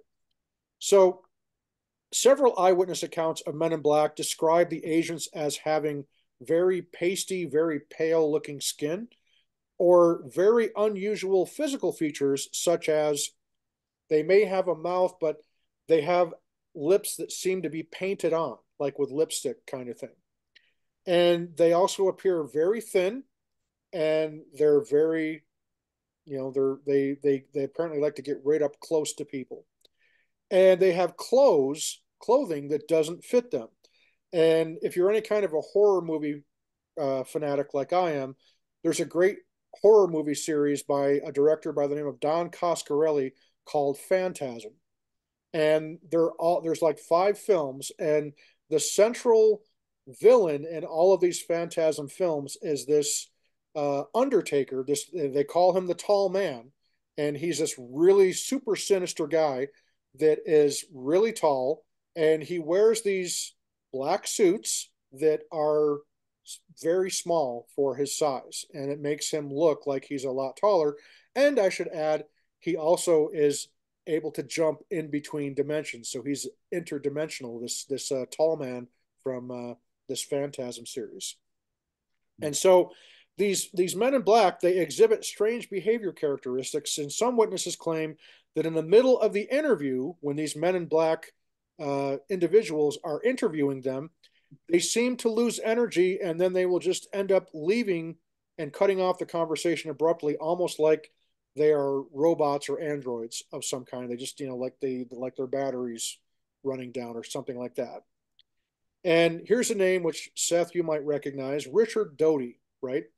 Uh, he's a very famous figure within the realm of UFOs and UAPs, and mainly because he's considered to be a you know disinformation agent. I mean, that was his job. He worked for the Air Force uh, Office of Special Investigations, or the AFOSI, and his job was basically to feed disinformation to people about UFOs and UAPs. And Richard Doty, uh, now that he's retired, claims that the Men in Black are controlled by the Air Force Special Activities Center operating out of Fort Belvoir in Virginia. And they are allegedly an arm of the Air Force Office of Special Investigations. Now, prior to me reading this, I never knew that there was such a thing as the Air Force Special Activities Center. But you know, that's that's what Richard Doty claims. And me personally, I tend to, you know, take everything Richard Doty says with a grain of salt because, you know, he was paid his whole life to purposely mislead and, and misdirect people. So, uh, yeah, I'm I wouldn't hold my breath on that one, but still interesting to to uh, to ponder on. And then the last bit here for uh, Men in Black, there was actually something that occurred in in uh, my old stomping ground back in New York in 2013. Uh, up near Niagara Falls, New York, there's a video posted to YouTube of this specific incident, and it's really creepy if you watch it. Where an employee at a hotel in Niagara Falls had shot a very impressive video of a very large and vivid UFO hovering over Niagara Falls. Well, the very next day, the employee called in sick. And on the day mm. that hmm. the employee called in sick, there are two very odd looking men that are dressed in a very intimidating manner with, with black fedoras and large black trench coats walking into the hotel. And this is all captured on the security camera of the hotel. And you can actually go and, and find it on YouTube. It's it's really I mean, it's it's uh, it's enough to make you go, "Wow!" I mean, it's it's really, really uh, compelling. And so these two uh, these two men in black, these these guys that walk in that are seen on the security footage of the uh, hotel camera there, they walk up to the the person working the front desk and they they ask for this employee. And the person at the front desk says, "Well, the person you're looking for is is not working today. They've got the day off." And so these men just started getting really pushy, like, you know, not wanting to believe that the, the employee was actually not there at that time. And the accounts of one of the hotel employees says that these two men were really tall, they were really intense, and she said they had like these blue eyes, unlike anything I'd ever seen. And she said there was just a, a, a feeling like an aura about them where they were just very like they were there to menace and intimidate kind of type thing. So turns out that you know this this guy this this hotel employee uh you know found out about this and um I don't know where I don't know where it went after that. I haven't I haven't heard, but you can actually see the security camera footage of these two guys walking in right through the front door, right through the front lobby of the hotel, and you can actually see people stepping out of their way. And the hotel employees that kind of step out of the way are the ones that are interviewed later that say there was just something about them that creeped the heck out of me. Like the way that they moved and just this kind of presence that they had about them. And as you can see, they look just like, you know, like uh, the proverbial secret agent man or, you know, two dark mafia characters from the 1940s or the 1950s kind of thing with the fedoras and the big trench coats. I mean, something right out of The Godfather, you know, almost kind of like that, kind of menacing. But um, it's got to make you wonder if, you know, with these accounts of Hatman, and we're going to segue from this into your experience, Seth. Uh, but you got to wonder these these these accounts of Hatman, especially the ones where they're wearing the fedoras. You have to wonder if maybe these men in black, maybe not all of them are actually government agents. Uh, maybe what some of these men in black might be is, in fact, some kind of interdimensional being or something other than, I hate to use the term, anything, something other than human that show up for whatever reason to kind of keep the whole UFO, UAP thing under wraps. There's got to be a reason why not just the government, but maybe something else doesn't want us, the regular people, to find out that there really is something out there that is truly extraordinary and unexplained that may not be, you know, some secret government project. It may be far more complex and far more, you know, dare I say, sinister and, you know, something maybe something to truly be feared as as opposed to something else. So so that's Men in Black. What do you what are what are you guys? What do you guys have? Uh, what are your thoughts on the uh, legendary Men in Black? Oh, I have thoughts. I mean, if you consider that these the, that first incident with the guy with the boat and his dog, that this person showed up and knew everything that had happened, and of course this predates the Air Force and and you know the OSI and and it's someone that obviously knew what was going on it, without any other connection to that. It makes sense to me that it could be something interdimensional. Um, it reminds me a lot of the author Terry Pratchett in his Discworld novels. There's the yeah. auditors. That's exactly the first thing I thought of. Is it's like the auditors, and then there's the yeah. the guys, the Marvel equivalent, basically. Because when I've seen it on Marvel, I'm like, oh, it's like the auditors. Um, the TVA, who, who, are well, yeah, they're they're the ones that are watching and making sure things go as they're supposed to. And oh, you're not yeah. supposed to get that information, so we need to, um, you know, eliminate that. And then of course they work by intimidation because they don't have anything lawful um, to, to go on unless you are looking at if there's any, you know, heaven forbid, there could be some kind of uh, coordination, some kind of cooperation uh, with a secret government agency, some some way to um, to to get that authority to threaten somebody, especially if they are already military or government have that that attachment. Um, and uh, so that really that's what I first think of. And I have theories about the hats. Um, and that's that's something I'll talk about later because it, it part of it is they pick a look, kind of like with the darker shadow beings kind of trying to imitate the interdimensional shadow beings it's we're, we're going to pick a look because this is what a human's supposed to look like right this is what a guy looks mm-hmm. like you know we wear hats right. and coats and of course the the hats coordinating you know, the fedora with the trench coat and the top hat with the cape. Um, it, it's like they just plucked a style out of time and put it on because, you know, look at me, I'm supposed to be a human, right? You know, so yeah. Yeah. Yeah, I, I, I, go ahead, go ahead. Oh, go ahead, Roger. Oh, go ahead. No. Oh, okay. Uh, I was just going to piggyback on Mae and say, like, totally, like how you pointed out that that first Men in Black experience was before this. I mean, as far as we know, before this government entity. And I kind of think, uh, like what you were getting at, was like they just kind of picked. Okay, well, what's an archetype of like an authority, something that will strike fear in the humans, maybe that we can, you know, just walk into a room and assert our authority. Uh, I think that's how it started. And I think like a, I don't know if a true Men in Black is the right word, but I feel like there is a true Men in Black and it's not human. And then there are government entities that kind of have matched that and they try and piggyback on that and act like they're the men in black but really they're just humans. They're part of our intelligence agencies. Maybe other countries intelligence agencies walking in but the the ones where their people say something's not quite right. And like Mae said it's like com you know it's, it's, it's almost comical. Like they just picked like this oh that's a human. Like hi i'm human person here.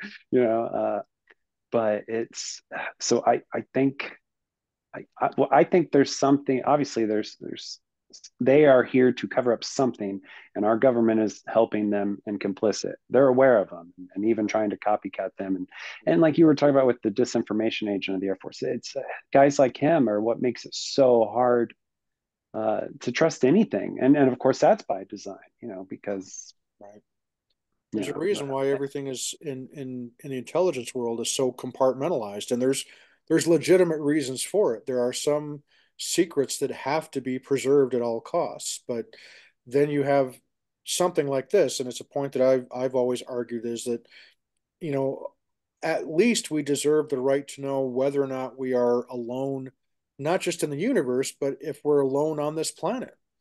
And whatever that truth may be, I think we at least deserve to know that. And it would mm-hmm. seem that these men in black and a lot of other agencies, and I'm not saying that they're all necessarily nefarious, but um, it, it seems that there's a reason why they want this information. And even just that simple fact of are we alone, they want to keep that suppressed. They want to keep covering it up. They want to continue to discredit and um, debunk and, and marginalize and and really kind of eviscerate anybody that comes out like a David Grusch, um, and I mean, just look at the stuff that's going on when, you know, Sean Kirkpatrick posted that thing and literally threw Travis Taylor and other people under the bus.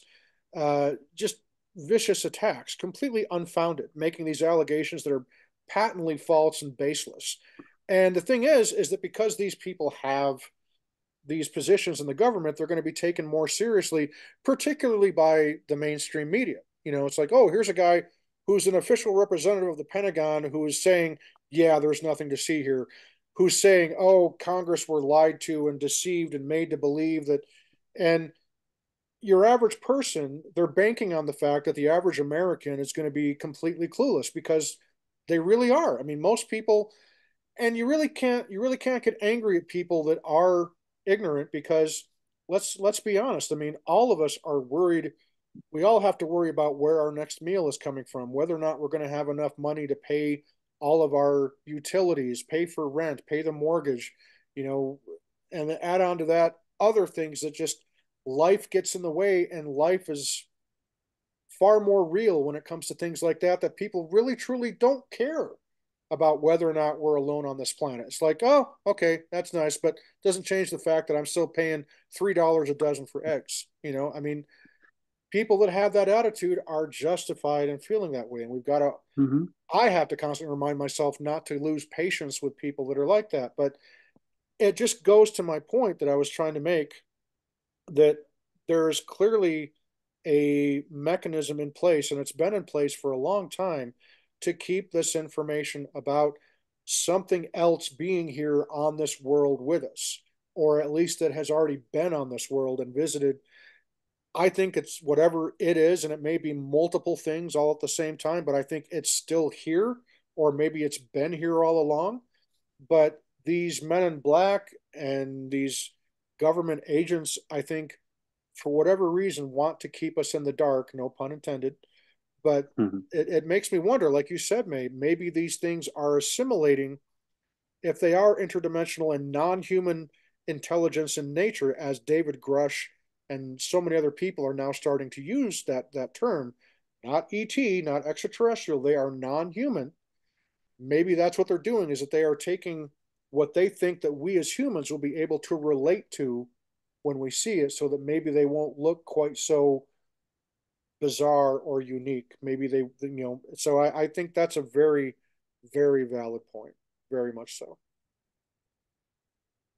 Rogelio. i just, I just want to say um, just to add one thing there um, if if you've never seen um, the series fringe definitely go back and watch it. The observers in there, um, I feel are like the uh, the men in black of that series, interdimensional, right? Watching over things, manipulating the events. So if you want some good sci-fi uh, action there and um, really want to get your brain going and thinking, um, watch the series Fringe. It's an older older series with John Noble and uh, Joshua Jackson, but uh, really, really good sci-fi there, and uh, I think you would enjoy it. But uh, definite Men in Black, um, and I do think that uh, very interdimensional. And as I said, um, I think our governments or whoever um, human, right, they try to imitate that to uh, either coerce, bully, cover up, right? They are they're using that power of fear towards people, but uh, I definitely think that there's a cross between the two for sure. Yep, I would I would have to agree. Thank you. So now we're going to uh, take the uh, the uh, rest of the time that we have left. We're going to actually listen to uh, the encounter, the very personal encounter that Seth had hmm. with this entity known as Hatman, and then we'll wrap up with, uh, if I can muster the courage, uh, my my my own account as well.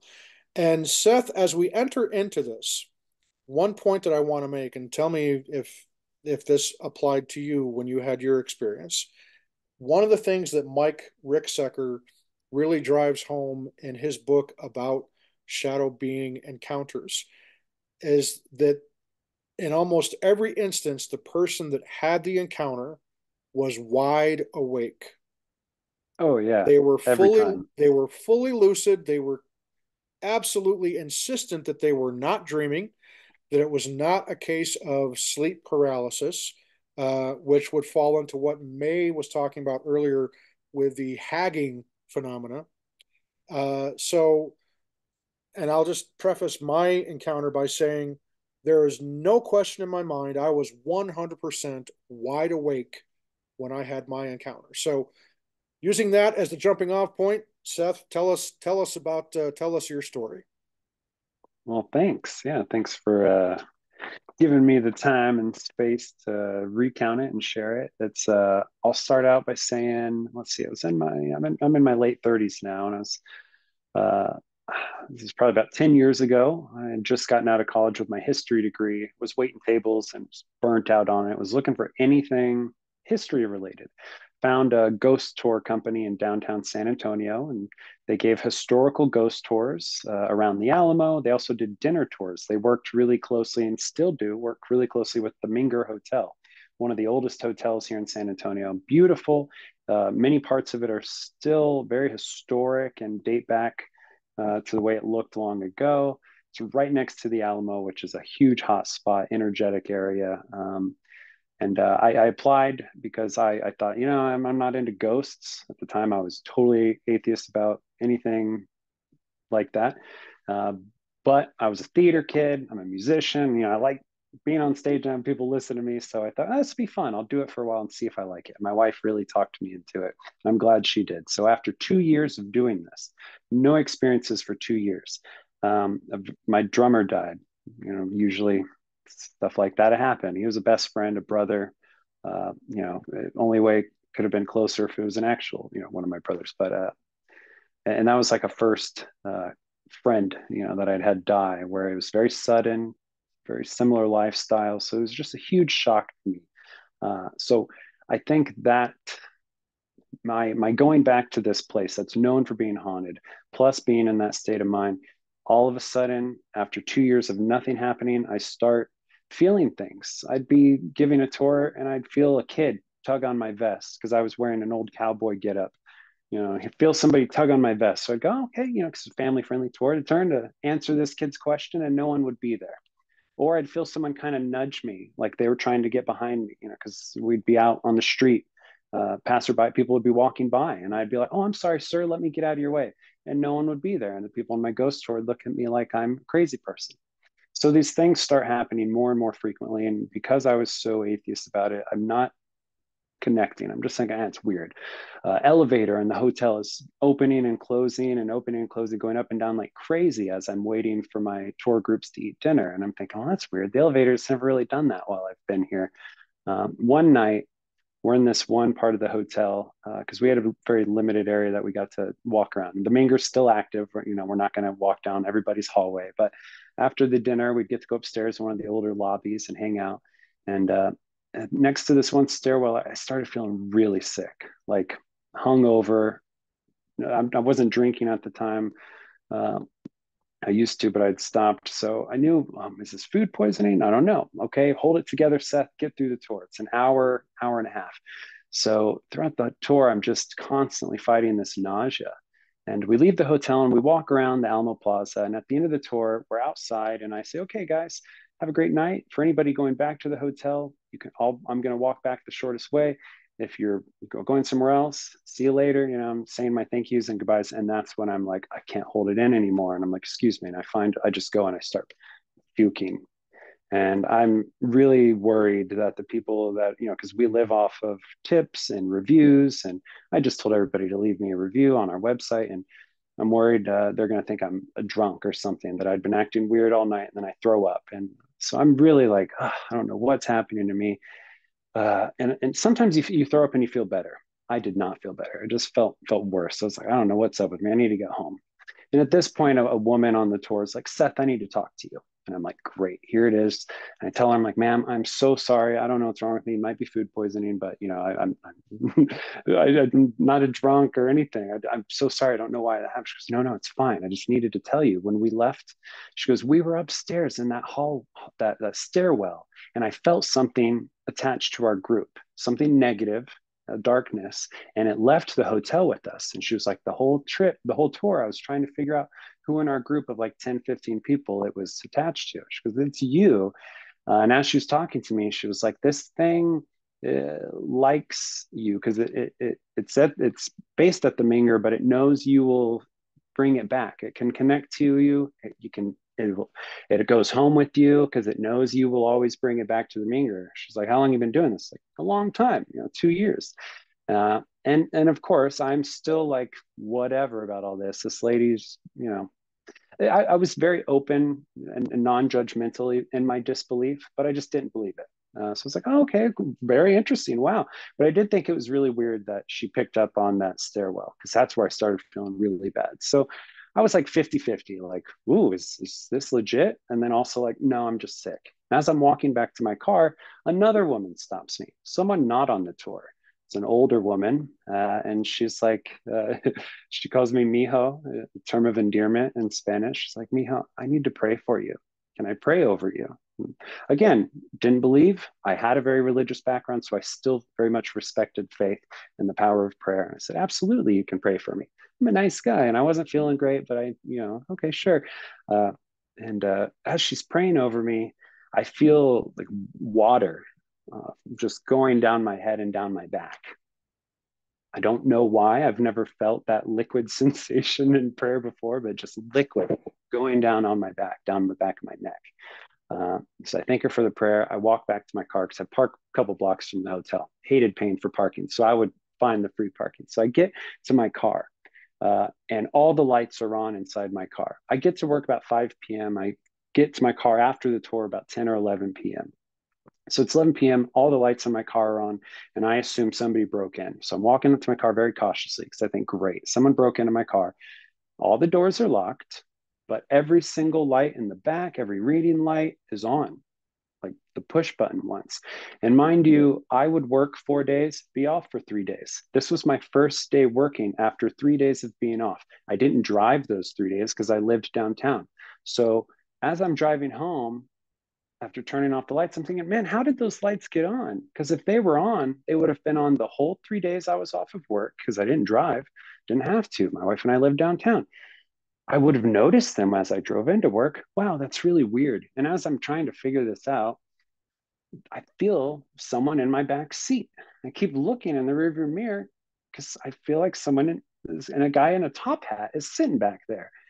Uh, it's just so weird. I'm like, whatever. Uh, so I go home and I'm still feeling really awful. And one thing I did do, the first woman that told me that she sensed the entity, she told me, go home, and we're getting to the power of belief. She said, go home and whatever you believe in, you need to appeal to. You know, you need to pray to whatever you believe in. Surround yourself with things that mean have, have meaning to you and power. At the time, I, I didn't believe in God. I didn't pray. I didn't do any of that. I kind of was into crystals. I really loved Oak Island. So I went home. I put on Oak Island and I got my grandfather's uh, college ring and I put it on because my my uh, grandfather, my mom's dad, just, just, if I think of uh, strength, that you know, he pops up right away. So I called on my grandfather. I watched Oak Island, and I, just, I didn't really feel that much better. And uh, this this went on for a while. A couple more months continued where I would just feel sick at work. I'd get to work and I'd feel anxious. Um, I told my wife about what I was seeing I didn't tell her right away. I just told her I felt sick. Did you get sick tonight? Because we had the same for dinner. She didn't get sick. So I, well, that was weird. Why did I get sick? So a couple more days continue, and again, I keep seeing as I'm driving home every night, same hat man in my back seat. And then we had a detached garage. So I'd go out to do laundry at night, and as I'd come out of the garage, there'd be a man in a hat at my front door. And you know when you get that feeling when you walk into a room or out of a room and someone's there that you're not expecting. And before your brain even processes there's a person there you you jump you know right. like oh someone's there. I would get that. I'd come out of the laundry room and oh someone's at my front door. It's the hat man. And then as soon as i you know really try and see they'd be gone. Um, same with like in my rearview mirror. It wasn't like i could really get a good look at it. It was very much like the am i seeing what i'm seeing? No it's not there anymore. Must not be it. And i don't know why it took me so long to really be like what I'm seeing and trust my I didn't trust myself like Mae was saying, you know, because I I very much had an internal dialogue of this isn't real. People make this stuff up. Um, and then uh, so yeah, so uh, probably a month or two continue. I continue to have lights turn on in my car, seeing shadows and uh, skunks nested under our home. One night we woke up because our uh, my stepson he was in elementary school at the time. He woke us up because underneath his his uh, his bedroom skunks had nested and just were spraying. And it was uh our, our, eyes were burning. We had to get out of the apartment. Oh, you know yeah. it seems like an innocent stuff. thing skunks get under houses you know stuff happens. And you know it's unfortunate but and then another thing our, our kitchen's just reeking. And my wife and i are tearing the kitchen apart trying to find what is up. And we lived in an old duplex down by the san antonio river. It's an old house lots of little holes. A mouse had gotten in and died in the wiring in the back of our oven It took a long time to figure oh. that out. I had to call get maintenance to come and be like, find this thing for me. Uh, so like while animals are you know, dying in my house and just stuff that like hadn't having like just I also was feeling like dealing with my friend's death and every day I thought that I I I thought I had like the black plague. I thought I was going to die. Very optimistic person, very outgoing person. I've never been a germaphobe. All this was before COVID. All of a sudden, I became a huge germaphobe. I didn't go out. I got so anxious. I every day I would look at my calendar and go, oh, if I can just make it, you know, a couple more weeks, I'd be able to. Because I really thought I was dying. You know, and who knows? Maybe I was would have if I kept telling myself that. And throughout this whole process, the Hat Man is ever present, always there, um, just in corner of my eye. I, I would wake up in the middle of the night feeling watched with lights on that shouldn't be on. And uh, my wife had told me throughout this when I finally started talking to her, she goes, You know, that's the Hat Man. I was like, I didn't even call him that. Just said, I keep seeing a guy in a hat. She goes, The Hat Man.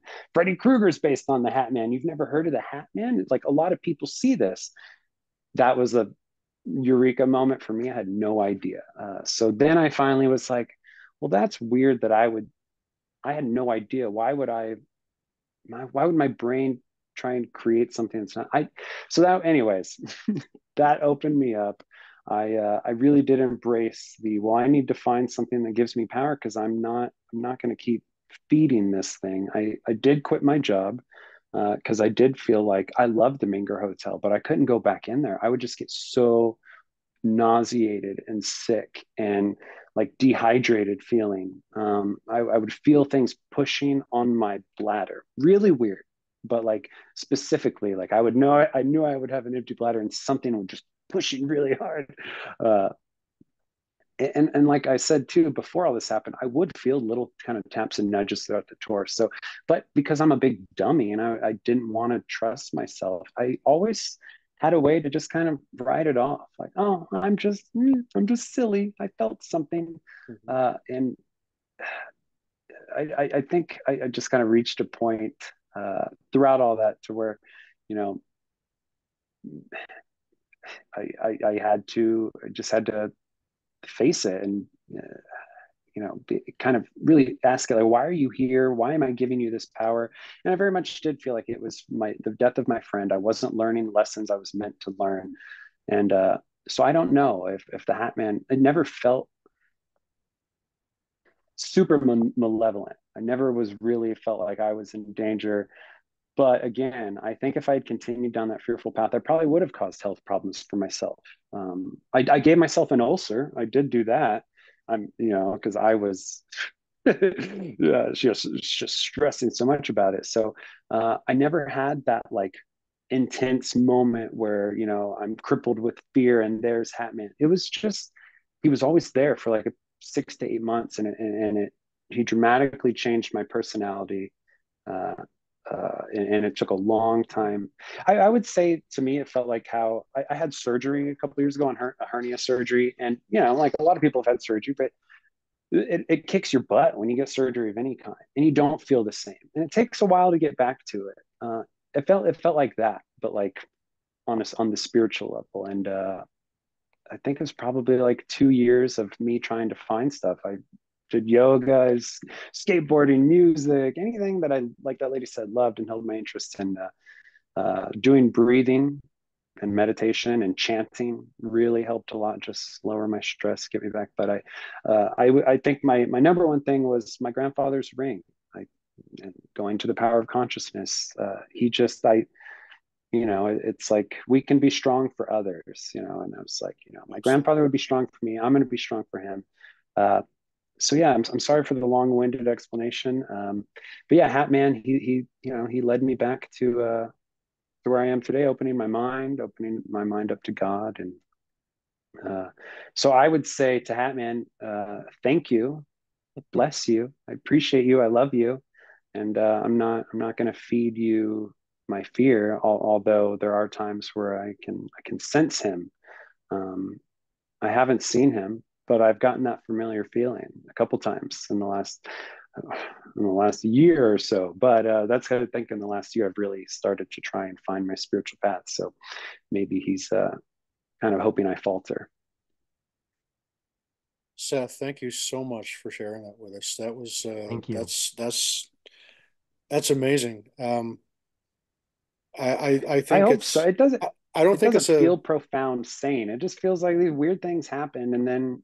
But when I looked at it with more perspective, hindsight's twenty twenty. I was like, oh wow, I was undergoing this spiritual attack for like and it yeah. took mm-hmm. my wife and other people telling me as I would go, you know, I'd show up to work and be like, man, these weird things are happening. And my coworkers who were very much in tune with that stuff, whether they were Christian or Wiccan or what have you, they would be like, dude, you need to like, what are you doing before you come into work? Are you praying? Are you protecting yourself? No, I'm just, I'm just hoping my good vibes see me through. Well, you know, uh, they did, I guess, up until I had that like, you know, mental breakdown with my friend dying. But Sorry, I interrupted you. I just had that extra bit. To No, no, no, no apologies necessary. I, I think it's fantastic that that your encounter actually led you to greater peace and embracing something that that further strengthened you know your your spiritual side and that that that helped you to find some direction and maybe some meaning in in an arena where maybe you weren't finding any at all. And I think that's the importance of that can't be um, can't be yeah. You know, I mean, it's it's, I, it's yeah, I do feel like it was feeding off of off of the state I was getting myself into, and uh, and it wasn't easy to come out of that either. Like uh, I, that was ten years ago, and only in you know the last month would I even say like, yeah, I'm a Christian. Um, right you know and only in the last couple of years would i have even been willing to say like yeah i believe in god and energy and shadows people and ghosts even and, you know there's something you know people might object to ghosts but that's just probably because their definition uh, is different from mine but yeah it's uh I, I mean it's it's I there there's people who've gone through so much I've been blessed to you know to where that's like a scary experience for me because there's people who've gone through real trauma and you know i'm always inspired by those types of people who come out of it and they're so much better and more empathetic and um, uh, empathy that was a big thing it gave me because i used to get people on the ghost tour that would talk to me and i'd be nice but in my head i was probably a little too judgmental um, mm-hmm. So it, well that's that's that's great. I mean that's that's our experiences i think should grant us additional insights and wisdom and and empathy. And that's um, while my experience was the polar opposite of yours, um, I would say that one thing that looking back came out of it for me was also a bit of empathy. For me, because I had never really had what would be termed as a paranormal experience on this level. You know, um, I still to this day have never seen a UFO. I mean, weird stuff like that just never really happened to me. Um, and it wasn't that I never believed that any of these these stories of ghosts and stuff weren't possible, because again, my my religious upbringing taught me that there is something else out there. You know, we do live beyond this this world uh, when we die, kind of type thing. So, and I believe in the very real existence of what we would call good and evil. I think that's a very real thing. Um, so I think that's fantastic that your experience was able to to help you, you know, find find your way, as it were, uh, through that darkness. No pun intended. Hmm. Um, and I, I think that's that's that's good. That that it's good for me to know that there are experiences out there that can help people find some meaning and some different insights that can help them get back onto a road that they're they're comfortable doing because it sounds sounds to me like what you experienced with your Hatman encounter that it was like that term that uh, Mike Ricksecker uses of emotional vampire from the standpoint that it it feeds off of that negative energy. It feeds off of that fear. Um, and it, it, it sounds to me like that's that's kind of like what what it was doing with you is that until you were able to finally find a way to stand your ground and um, mm-hmm. so that's that's that's that's just awesome Seth. Thank you so much. Yeah my pleasure. And I you know thank you for uh giving me a place to share it because even even just like trying to uh, you know gather my thoughts every time i tell it I, am able to get through it i remember the, one of the first times in the skinwalker discord talking to a few people about it man i could like I, I thought, oh, okay, I'll just tell this quick little story. And I, my emotions, everything was coming back. I was getting shaky. I was getting anxious. And like, you know, just like, and this time I didn't feel it as much. I was, was a lot more comfortable talking about it because, uh, you know, I'm, I sound confident, like, oh, bless you, Hat Man. You know, like I still don't want him showing up and sitting in my seat and making me uh, sick and everything. But, you know, uh, yeah, it's, emotional vampire. Yeah. Yeah.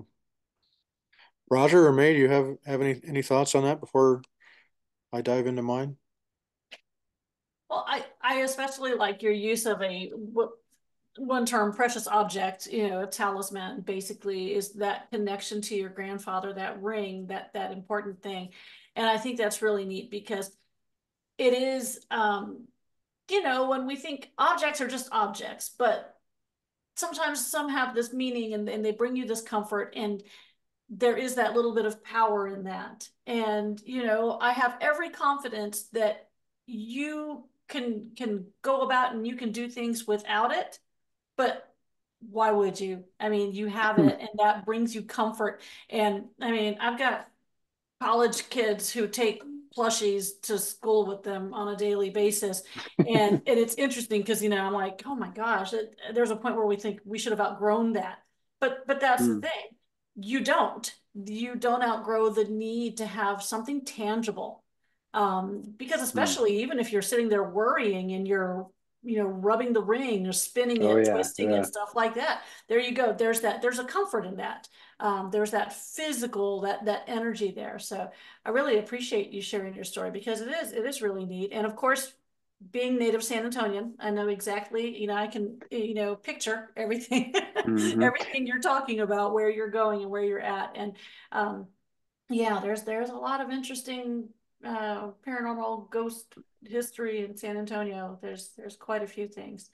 Yeah, um, I was always I was always drawn to it because of the history. And then once I got into like more of the spiritual and paranormal, and you realize that like you know it's a span it was a Spanish mission before it was a fort, and of course you had that battle there. But just the fact that it was a mission in a, in a chapel is pretty significant because the Spanish always chose the sacred places that the natives used. Mm-hmm. You know, they would always just yeah. put their church right on top of the sacred yeah. place for the Native Americans. So, uh, you know, I, I think the Alamo is there for a reason. That that that is an energy vortex, if you know another nebulous word, but it's it's there, and the Menger is right on it. There's an acequia that runs underneath it. Water, you know, we know how water. energy oh, travels yeah. through water. So, yeah, the Menger. I mean. I it was I hated quitting that job because I fell in love with the Menger, and when I I'll go back and you know family and friends will make me you know, Seth, take us to the Menger. Let's go downtown. You can tell us ghost stories. Uh, and that building is amazing. But I still have to really be like, okay, Seth, you're okay. Like we're going into the Menger. And every time I walk in, I can, it's one particular part of the hotel where I can feel it go, oh, welcome back, Seth. Mm. oh, wow. wow. Wow. It's weird. But yeah, that hotel is, I have a relationship with that building, as many do. Mm-hmm. Yeah. You know, Roger, I get that same exact voice in my head every time I go to Betos. It says, "Welcome back. We have tacos for you." See, for me, my my my comfort, my happy place will always be will always be tacos and bunnies, right, Mae? Oh. yes. Mae Mae and, knows where I'm coming from with the bunnies. So yes. And, and I at one point I had to mute because Comet was throwing her dish around again, and, and Jimm knows that gets loud suddenly. Yeah. I have a rabbit you know, just Aww. to the right of me. She lives in the hallway and it's a tile floor and she has a ceramic mm. dish and she will just toss it and you'll I'll see my gain, you know, signal light up and I'm like, yeah. so yeah. Roger, any any thoughts from you before we move on? I was just gonna say thank you, Seth, for sharing that. Uh, uh, one thing that was super meaningful for me is just at the end there, just saying that how more comfortable you've gotten and being able to share the story and being able to do it more confidently and again express that but also just in your own words right so people like as you walked me through that um you know, I could see in my mind the things that were happening to you and even feel just some of the, you know, some of the feelings that I, I can imagine that you felt. Um, and so again, it's one of the things that why I really enjoy this topic of the paranormal um, is knowing that I'm not alone in the things mm-hmm. that I see, I feel, I experience. Um, and your experience again is amazing, terrifying, because right when it first happened, you really didn't know what was going on, but being able to work through that and uh, really gaining some more knowledge and insight into yourself, who you are, your family, and having that bond um, has really, in in my opinion, you know, just my short interaction with you, you know, you are a great person, um, right? You you love family, um, you love history, and there is I, I, get that great sense about you, and that uh, I'm I'm always happy to hear that with terrifying situations or things that we don't understand have a positive outcome that pushes forward, um, and that again like these experiences that you have, you're not alone in having those, hmm. and it's just one more voice sharing that experience and saying that although we don't understand it things will be okay and we have the power to yeah. to move that forward. So thank you. No thank you roger. And i will just echo what roger says uh, seth you are indeed a good soul and uh, right you know, back at you we're, we're, we're definitely drawn to the uh, the great great vibe and the great spirit that you have. You're just uh, you're just you're just one of my favorite people, Seth. Truly, and the fact that you're a musician, come on, and we got to talk about that, Seth. Um, folks, uh, is it uh, your your your project is called As a Moth, right? Yeah, as, as a moth, as a, a moth, as a moth.bandcamp.com, and yeah, uh, yeah. please, folks, go check out Seth's music. He's a fantastic guitar player. He's uh, got a great ear for music, and you guys know me music is what I do for. Uh, that's that's what I am. I am the music guy. I I produce music professionally for a living, and um, I can tell you that Seth has got some great stuff that he does. And Seth, you and I got to collaborate sometime, right? Yeah, I mean, that'd be fun.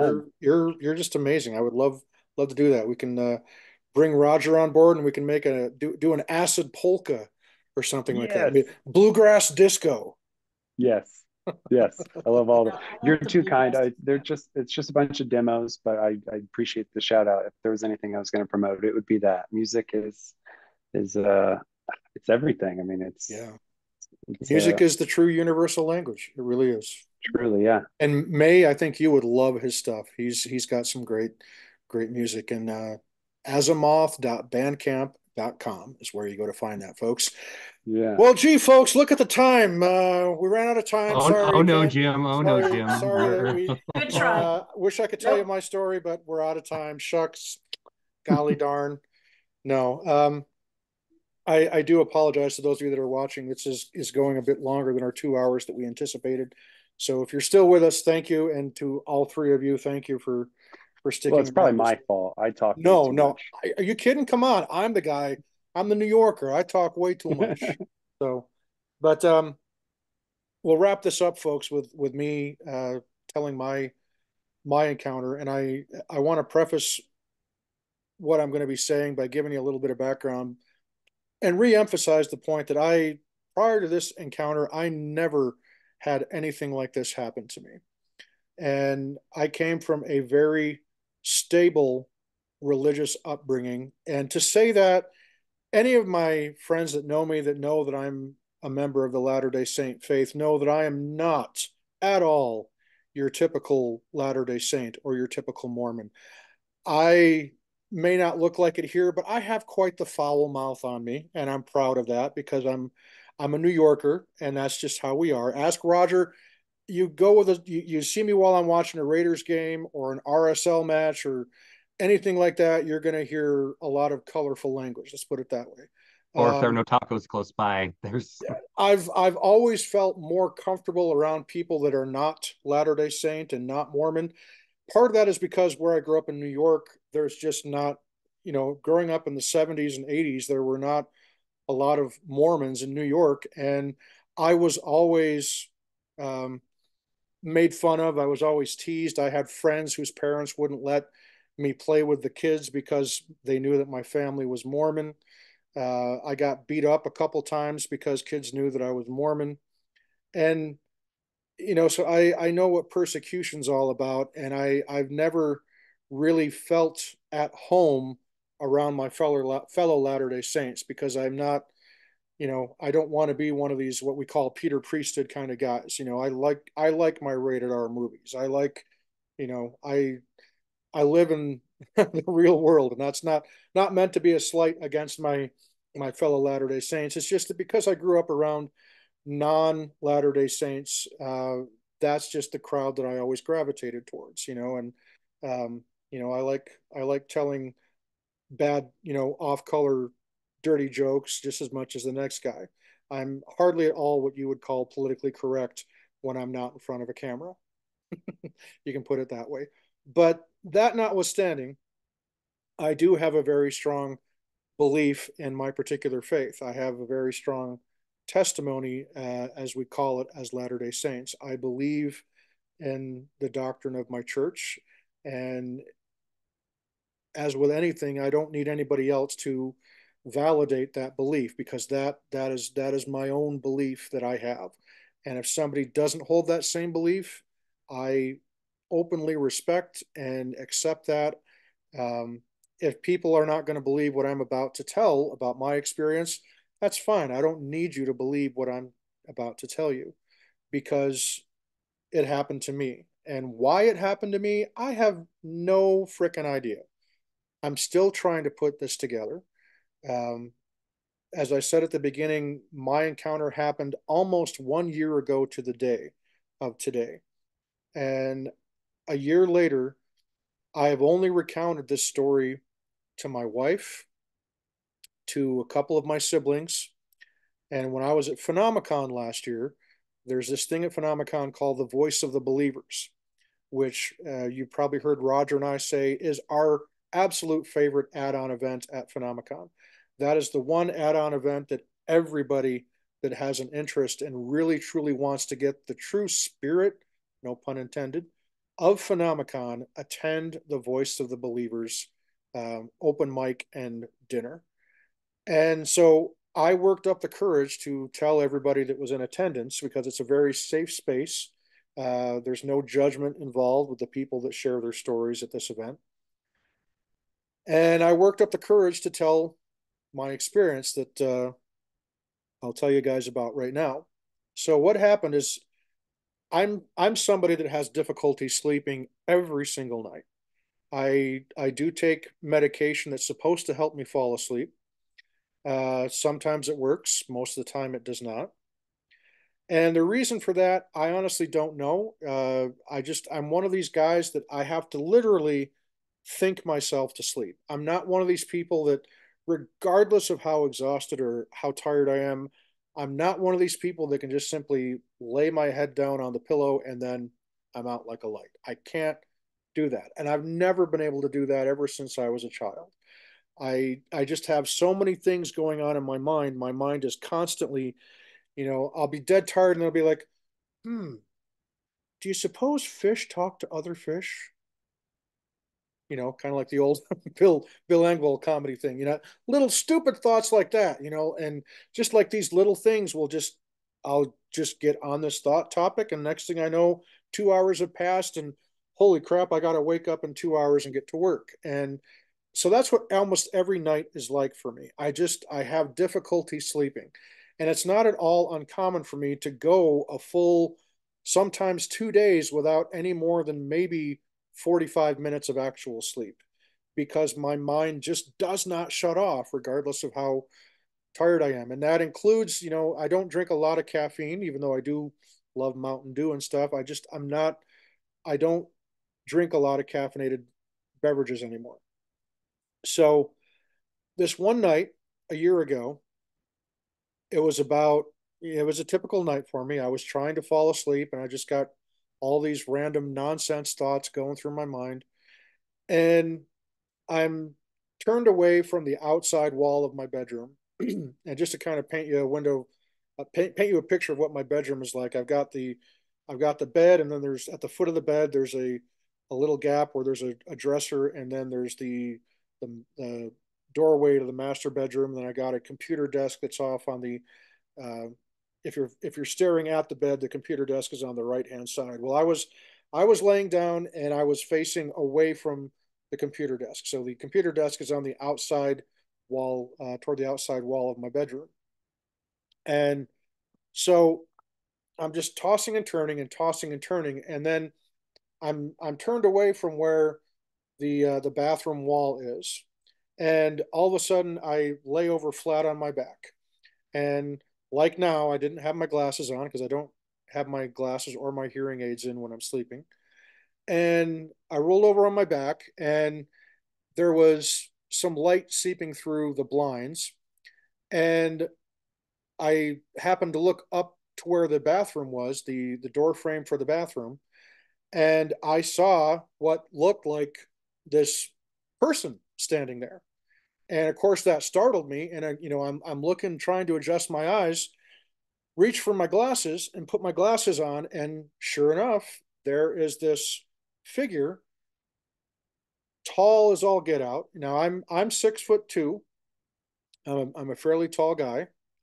Um, and i would say that this thing was uh, it was it was it appeared to be taller than the doorway to my bathroom. So you got to figure that's got to be close to seven, seven and a half, maybe even eight feet. So this thing was tall. And I, you know, just this all unfolded so quickly. So I've got my glasses on, I can see this thing, and there's this this it's this big large figure i cannot for the life of me make out the features on its face it just looked like a complete void where its where its face was but I could tell that it was wearing a top hat. And when I say top hat, I'm not talking like Abraham Lincoln, you know, stovepipe really tall. I'm talking like something that you would see people in the early 20th century, like the um, 1920s type period, you know, before the Great Depression. It's like somebody in high society would wear. And this figure, I could tell that it was also wearing it was dressed very nicely. It had like a tuxedo, and it appeared to me that the tuxedo had tails. It also, on its hands, was wearing these, uh, you know, women would call them dress gloves. They were gloves that a lot of times in those old high society times you would see men would wear these these these gloves as well when they would go out. And he also had a cane, and this cane was not the type of cane that he needed to walk because you know he had a, a, a debilitating injury or something like that. Again the impression i was left with was that this cane was something like again you see these high society guys they'd go out and they'd have a you know a cane and you know um, just just kind of like that. So i get a good glimpse at this thing. And naturally you know this is about somewhere between 3 and 4.30 or so in the morning and my first instinct is okay, there's an intruder in my house. And being the big guy that I am and being a fighter by nature, I was my first instinct was okay, I'm going to throw this thing a beat down. I'm going to I'm going to, you know, throw this guy a beating. And um, so I immediately started to get up and the thought process is okay, I'm going to swing my legs around and as I'm swinging my legs around, I'm making contact with this this guy's where his eyes should be. And again, I cannot see any features at all on the face. There's no eyes, there's no nose, there's no mouth. Everything else is perfectly formed, but I cannot see a face. As soon as I get a good look at it, and we're talking just a fraction of a second, I don't know how the hell this happened. And the only way I can explain it is it's like somebody flipped a switch in my head. And instantly, like like that, I had a full recall of having seen this figure, this entity many, many, many, many, many years ago when I was a child. And when I say many years ago, I'm talking over 50 years ago. I'm over 50 myself right now. And I instantly had a memory of when I was roughly three or four years old. And this is when I was living back in New York. And when I was still a young toddler, now I, I come from a family of seven kids. So you can imagine my house was pretty crowded. and there is a great deal of space between me and my other six siblings. So much so that there is a 10 year gap between me and the next oldest. So when I was born, all of my siblings were teenagers. And shortly after I was born, my oldest brother was actually uh, graduating from high school and on his way off to college. So my parents, because all the bedrooms were taken by my siblings, they kept me in a crib until I was about three or four years old. And I slept in their room, even though I was fully able to walk and, and everything else. It was just simply a matter of, of space growing up in a big family. And I had this memory recall that I have no idea where this memory came from, but it was a perfect recall of when I was a child on multiple occasions. I would experience what people would call out of body experiences, astral projections. And I've had a number of them during my lifetime. And I had several of them when I was a child that I was able to remember, and I still remember. And they always were accompanied by instances where I was experiencing some kind of trauma. Um, for instance, two instances where I vividly recall having out of body experiences as a young child there was one time when I was at church, and Roger, you, Roger and Mae, you might remember this back in the 70s and 80s. Uh, children used to go to this this program called Primary, and in the 70s, where I grew up in New York, they didn't hold this on Sundays like they do now, uh, alongside Sunday school and the main Sunday meeting for my church. They used to hold uh, primary, which was this you know church based activity for children from ages uh, four to basically 11 years old. And I was at one of these primary activities as a, you know, again, a three or four year old. And this older child, for no reason that I'm aware of, just began beating me up. And I mean, really viciously uh, punching me in the stomach, punching me in the face. When I was on the ground, he started kicking me and jumping on my head. And this is a kid that was probably a good I don't know, four, three or four years older than me. So this this was a much bigger kid. And as this is happening, you know, I don't know where the hell the adults were during all this, but um, this kid is wailing on me. And next thing I know, I'm watching myself from up above, and I'm watching this kid literally kick the crap out of me. And I can see, you know, my my body just, you know, being pummeled by this older boy. And so then I can see one of the adults rushing over, and the kid runs off. And the adult comes and gets me, and you can see, I mean, I, I can see that my, you know, I got blood coming out of my head and my teeth and my nose. And they take me inside the church, and the same thing. I, I go inside, and it's like I'm watching this whole thing unfold as if I'm in a room overlooking everything happening and I can see the adults kind of freaking out because my mother uh, was in another part of the church, and the adults are freaking out, and I can hear everything that they're saying, and then it's like next thing I know, I'm back in my body, and you know they're wiping the blood off my face and and all this, but I remember telling my mother that before I went back into my body, my I was going throughout the church and I saw her sitting in her meeting that she was having in this other room of the church. And I and and she said, "Well, you know, what was going on?" And so I I, I described to her what the person that was giving the uh, the class or the discussion that she was attending, I was able to tell her exactly what this person was was telling the class that my mom was in but yet my body is in this room on a on the other end of the church and here i am you know in this astral projection out of body experience whatever you want to call it and so when i get back into normal phase of things, my mother and I tell her this, and she's like, I don't know how you can know that, but that's exactly what the the the, the man who was giving the lesson was was talking about. So my mom was like kind of creeped out by that. And then there's another instance where I was about three or four years old and I was at home and we had several relatives visiting from out of state. And in the kitchen of my old home back in New York, we had this spot in the floor that was right underneath where uh, a heater was. So there was like this constant warm spot. And it was in the wintertime. It was about, you know, I want to say probably February or March timeframe. And I had these matchbox cars, and there was this little circular rug that we had. And I was, you know, just playing with my matchbox cars on this this little rug.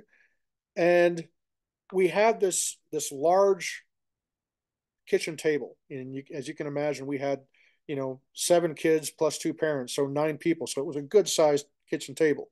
And it was one of those tables from like the 1940s and 1950s that had these leaves that you could put in the table to extend it or shorten it.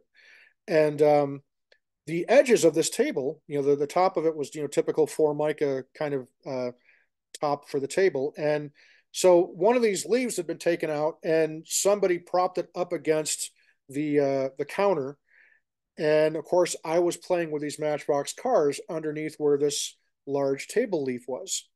And this table leaf, you know, probably because it had metal edges, because they didn't have such a thing as kid safe stuff in back in the 1970s and certainly not in the 1950s and 1940s where this table came from. And um, so, however it happened to happen, I either bumped this leaf that was propped up against the counter or somebody else inadvertently bumped it and this big table leaf fell and landed square on the top of my head and penetrated my skull. And needless to say it fractured my skull and mm, you know that's i don't have any memory. I remember actually i have a memory of watching in slow motion like this this thing falling. And the next thing i know i come to and i'm in the hospital and they've got me strapped in this gurney and there's you know blood everywhere. And the nurses and doctors are freaking out. I can see my mother and father freaking out.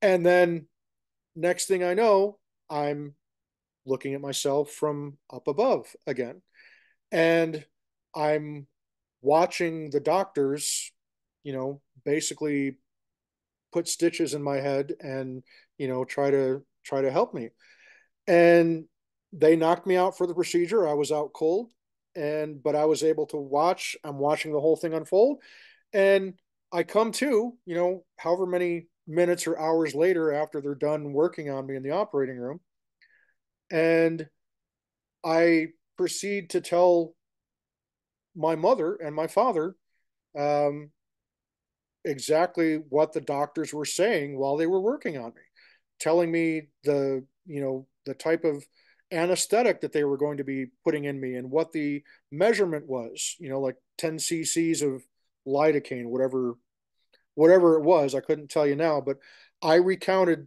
in exceedingly great detail the conversations that the nurses and doctors were having in the operating room as I'm completely unconscious and but yet I'm watching it all unfold. And furthermore, I was able to tell them that grandma and grandpa, my my grandfather, who I was screaming for the entire time. Uh, I was able to tell them that grandpa and grandma got stuck in traffic because there was, you know, uh, they had encountered an accident on their way to the hospital and that's why they weren't there yet. And sure enough, within like 10 minutes, my grandparents show up and my grandfather, fuming mad, is talking about how they didn't get there sooner because they were held up in traffic because of this. Now, bear in mind, this is probably 1974, 1975, there were no cell phones, there were no computers. There was no way at all that I could have known that my grandparents were held up in traffic. There were no car phones, you know. Um, so the reason why I'm, I'm I'm telling you all this is that I had experiences in my lifetime where I had these out of body experiences, and in almost every instance, they were brought on by some kind of trauma that I faced during my childhood. And I had, you know, at least two others, uh, and I had one of them actually happened when I was a uh, a teenager. So it wasn't just something that happened when I was a young child. I have had these type of out of body experiences before, but they were again always accompanied by some kind of physical trauma that I was in that I was experiencing. So keep that in mind. So back to the shadow figure. And again, I'm ready to, I'm literally getting up out of my bed. And I see this guy's face. And all of a sudden, boom, these memories of having seen this exact figure when I was over 50 years ago as a child. And the way that I encountered it was I was having an out of body experience because my body was still asleep in the crib of my parents' bedroom. And my sisters all used to sleep in a bedroom that was adjacent to my parents' bedroom on the second floor of my home in New York. And through some reason, I'm having this out of body experience, and my my astral self, whatever you want to call it, is floating into my sister's bedroom. And I look, for some reason, I'm drawn to look out the window of my sister's bedroom. And as I look down into our driveway on the side of the house, I see as a child this being that is standing in front of me right now as a 50 something year old man over 2,000 miles away across the country. Not in New York. I am in my home in, in Utah. And so I had no memories. I don't have, I, I didn't have any, any recollection of these things, but this, this figure, this being appeared to me on at least three occasions in memories that appeared to me. And in every instance, it was one of those out of body experiences. It was always at nighttime or early morning, like it was happening for me this last year. And I always got a feeling that it was there to menace me. And it the the way that it moved when I saw it as a child really creeped me out. And of course, I didn't know what the heck any of it was all about. And so the fact that these memories just instantly, it's like it was like it happened yesterday, even though it happened over 50 years ago. So imagine that. I'm not only, you know, caught unaware because this thing is actually in my bedroom, but that also I have these memories coming back. As soon as I go to place one foot on the floor, and I've already got my fist clenched because I'm I'm getting ready to, to lunge at this thing and just give it holy hell. You know, give it a good old fashioned Brooklyn beatdown. And um, before I would say, right as my foot is about to touch the ground, I feel this surge of like a zap of electricity. And then next thing I know, I am lying flat on my back and I'm still wide awake. I'm lying flat on my back, but I cannot move a muscle. I am completely paralyzed. I'm completely frozen. And so I can see this thing still. I've got my glasses on, and I can see this thing is now starting to move towards me. And I am absolutely terrified right now because I'm, you know, I'm telling my arms and my legs and my torso, get up, move, but I can't. And so by this point i'm thinking okay i'm dealing with some kind of you know evil spirit. So as latter day saints we are taught that we can cast out evil spirits by just simply raising our hand to the square and invoking the name of jesus christ and telling it to depart.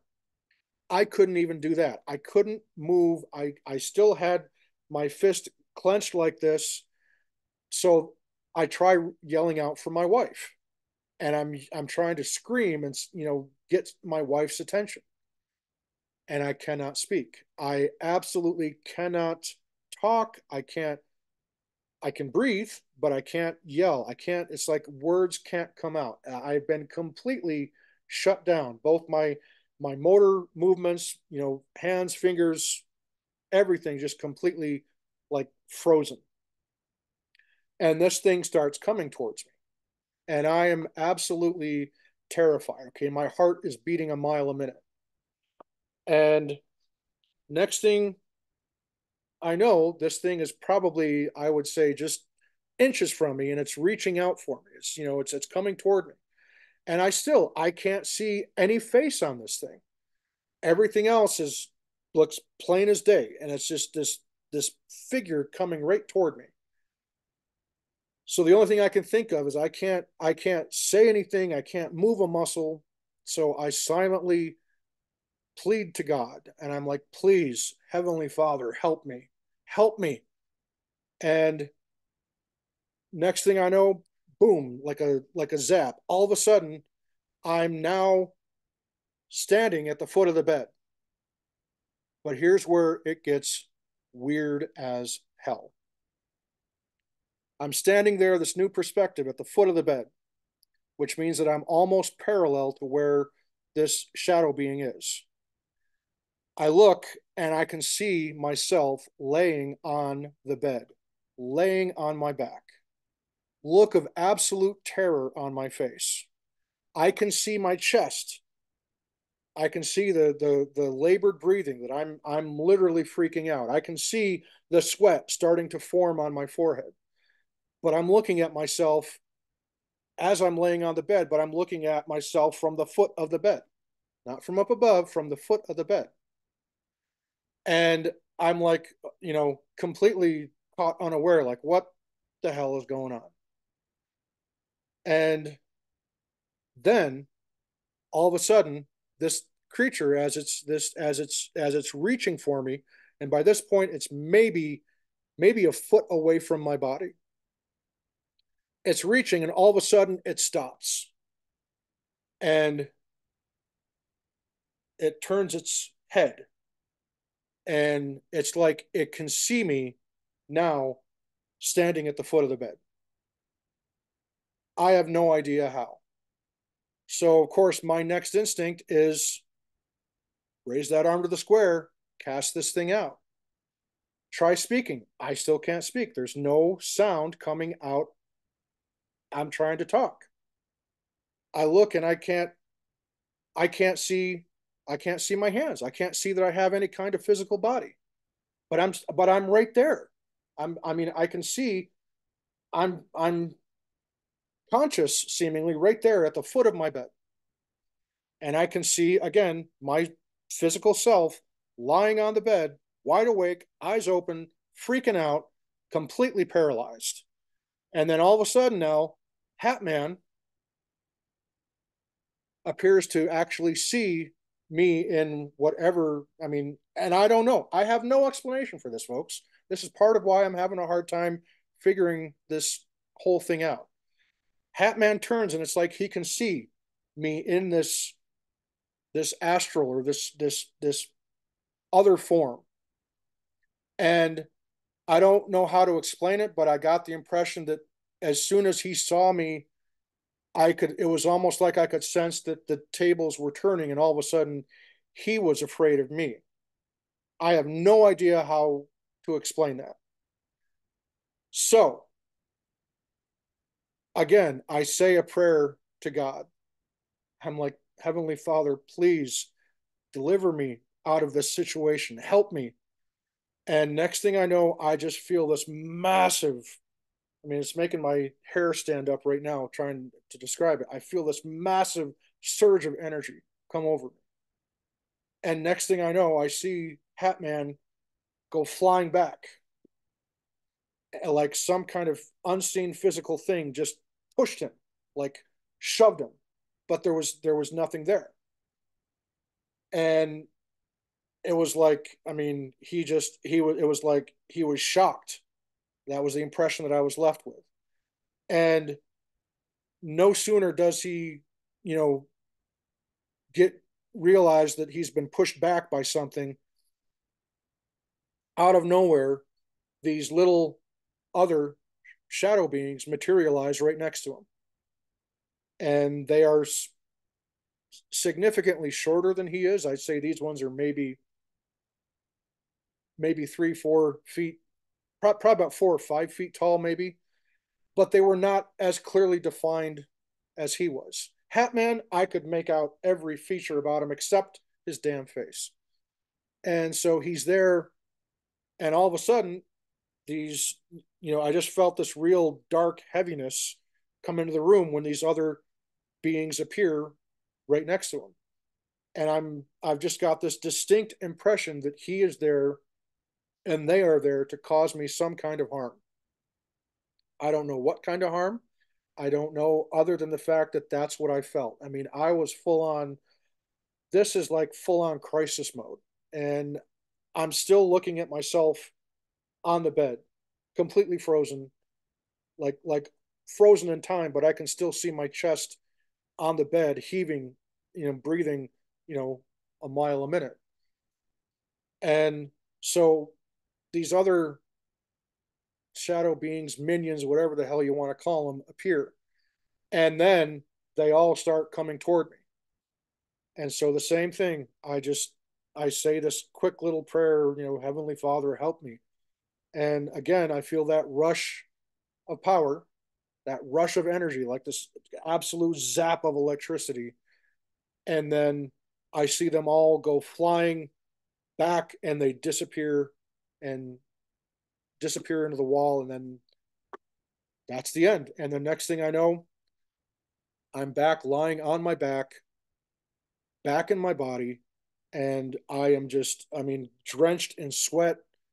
My, I, I feel like I was about to have a heart attack because my heart was beating so much. I felt like I was going to pass out. And uh, I, to this day, I have no freaking idea what any of that meant. And it doesn't stop there because a week or so later, I had an occasion to speak with a couple of my sisters uh, at the same time. They were all together in one place, all but one of them. And I asked them, I said, you know, just out of the blue, I, I said, hey, do you do you guys recall when I was a, a young baby uh, or, or or a toddler, maybe three or four years old? Do you ever remember me telling you about nightmares I had about this guy in a hat? And without hesitation, one of my sisters spoke up and said, "Oh yeah, absolutely." She's like, he's like, you. I remember you used to tell us that you would see this thing outside the window of our bedroom, and how this this guy in a top hat and a tuxedo would uh, that didn't have a face would would would appear outside of our window and and like used to scare you and do this little kind of like creepy movements and and I heard that and I was like there's validation, that word coming up, that my sisters just confirmed that those memories were real. They happened because they remember me screaming, waking up screaming in the night, and me telling my mom and dad about how I saw this man standing outside of my sister's bedroom window and how he appeared to me multiple times. So all of a sudden I now have members of my family confirming that that really happened when I was a child. So that was kind of like for me the icing on the cake of what the hell does this mean? And I still today don't have any idea. I don't know what any of it means. All that I know is that it, it happened. And I was not sleeping. I was wide awake before it happened and I can tell you for damn sure I was wide awake after it happened. Um, I had trouble sleeping for several days after. And Roger, you you probably remember when I reached out to you because aside from my wife, you were the only other person that I could tell the whole story to. And again, it's like I already know that there's a lot of you, probably most of you that are going to be watching that are going to say, "Oh, come on, Jay. That's nonsense. That's that's bullshit." And you know what? If you want to feel that, that's great. That's fine. I don't care because I know what I experienced. I know what I went through. And why I went through it, I don't know. My religion, and again, remember, folks, I am a staunch believer in my Latter day Saint faith. I, you know, I have a strong testimony of my my church and my beliefs in Christ specifically. And there are certain aspects of this that my religion can't answer. At least none that I've been told yet. And has that shaken my faith? No, not at all.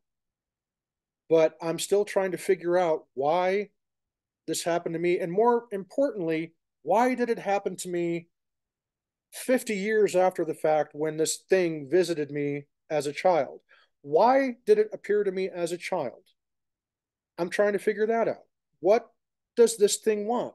The only thing that I'm left with, and that's why I said with with in comparison to Seth's encounter with Hatman, mine was 100% a belief, a solid belief that he was there to menace me, to terrorize me, and heaven forbid, what would have happened if it had actually, because it was reaching for me.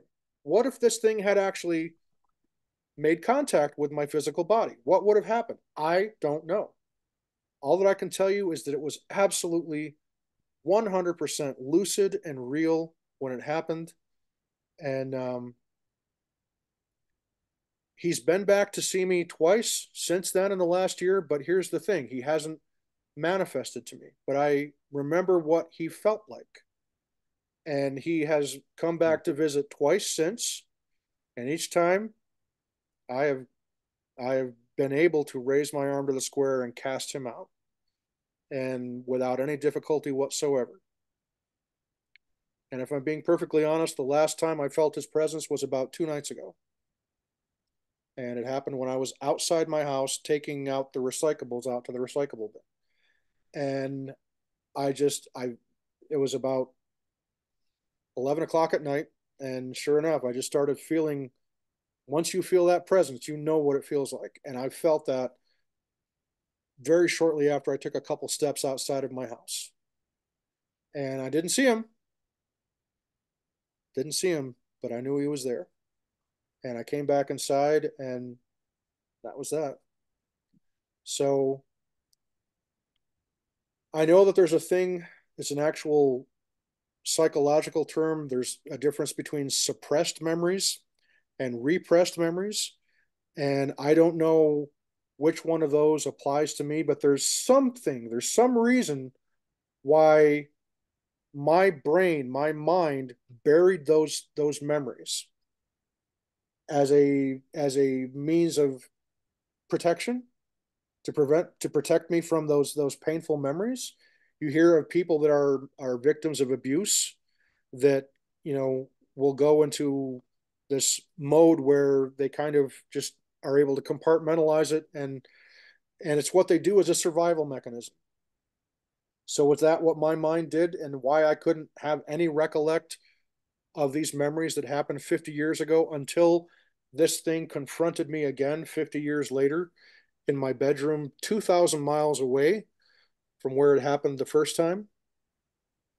I don't know. I mean i've even had people uh, and we're talking a handful of people that i've even related this story to that have said, well, maybe, you know, when you were a child, you had your mom and dad there to protect you. And now with your mom and dad gone, maybe this thing, you know, maybe your mom and dad were there as figures of, you know, protection and with them not being there. And, and I have a hard time believing that because that's not how my faith and my belief system works. Um, but I still, I don't know what brought this on because I'm not somebody that, you know, deals, I don't dabble in things like Ouija boards and tarot cards. I'm not somebody that courts this kind of thing to happen. And unlike Roger, who just these things naturally happen to him, they don't happen to me. And I, I don't, I don't know why that is. So, you know, I, I can understand if most of you, or even if all of you, just have a hard time putting this story together because I'm in the same boat. I don't know what it means. I don't know what any of it means. All that I know is that this figure appeared to me back in the early 1970s in Binghamton, New York, which is where I grew up. And all of a sudden, this my mind, for whatever reason, gets wiped of these memories, or they get placed somewhere where they're just not there. And then 50 some odd years later, in my own home, I'm now married with three children of my own, living outside of Salt Lake City, Utah, 2,000 miles away, completely different house. and this thing up and decides to make another appearance. And this time, unlike anything else, because previously the appearances were outside of the house. This time, this thing's inside, not just my house, inside my bedroom. I it's just all stuff that I can't rationalize. I can't put it together. And maybe now you guys understand why I don't talk about this. Because eh, even a lot of the other encounters that I've read about in Mike Ricksecker's book uh, and a lot of the other ones, there's some that have similar elements to mine, but nothing where it involves an out of body experience where I'm presumably my astral self calling upon the help of my spiritual beliefs is able to confront this thing. And this shadow being can apparently see me in this astral form how is that? I mean all this stuff. I got so many questions. I don't know.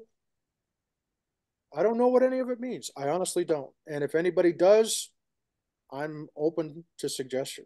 Uh, i'm i'm ready to listen but it's you know, I I'm sorry for taking so long and but hopefully hopefully you understand a little background of of why this topic is of such interest to me because it happened to me.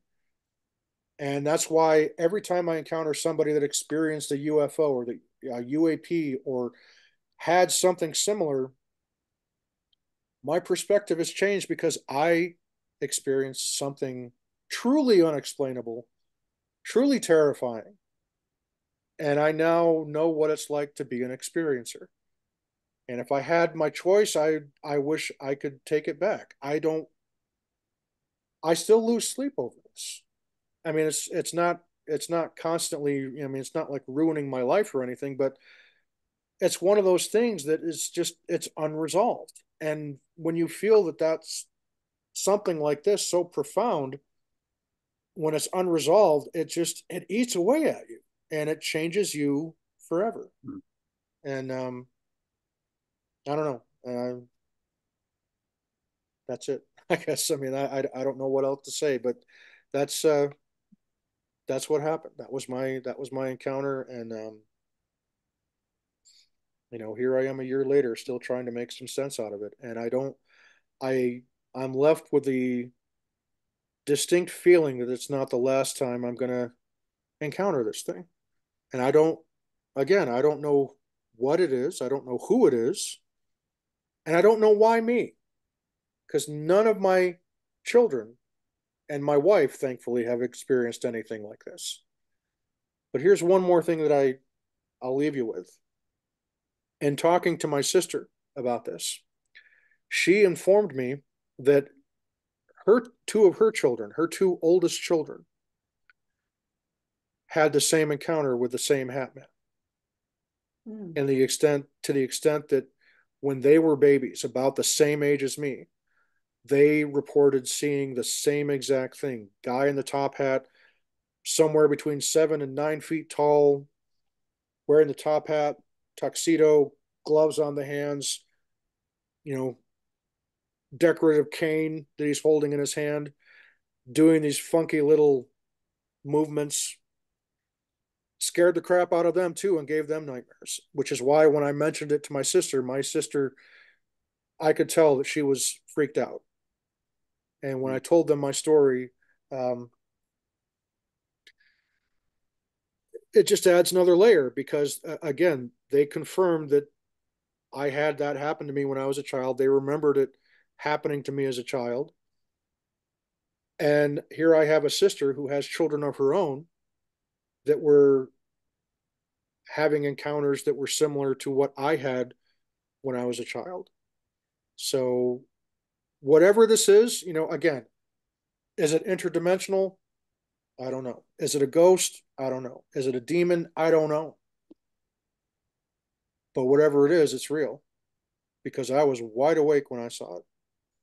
And um, nobody can take that. I wish they could, because I don't I, I don't like living with this. I don't like living with something like this that is unresolved without any kind of closure.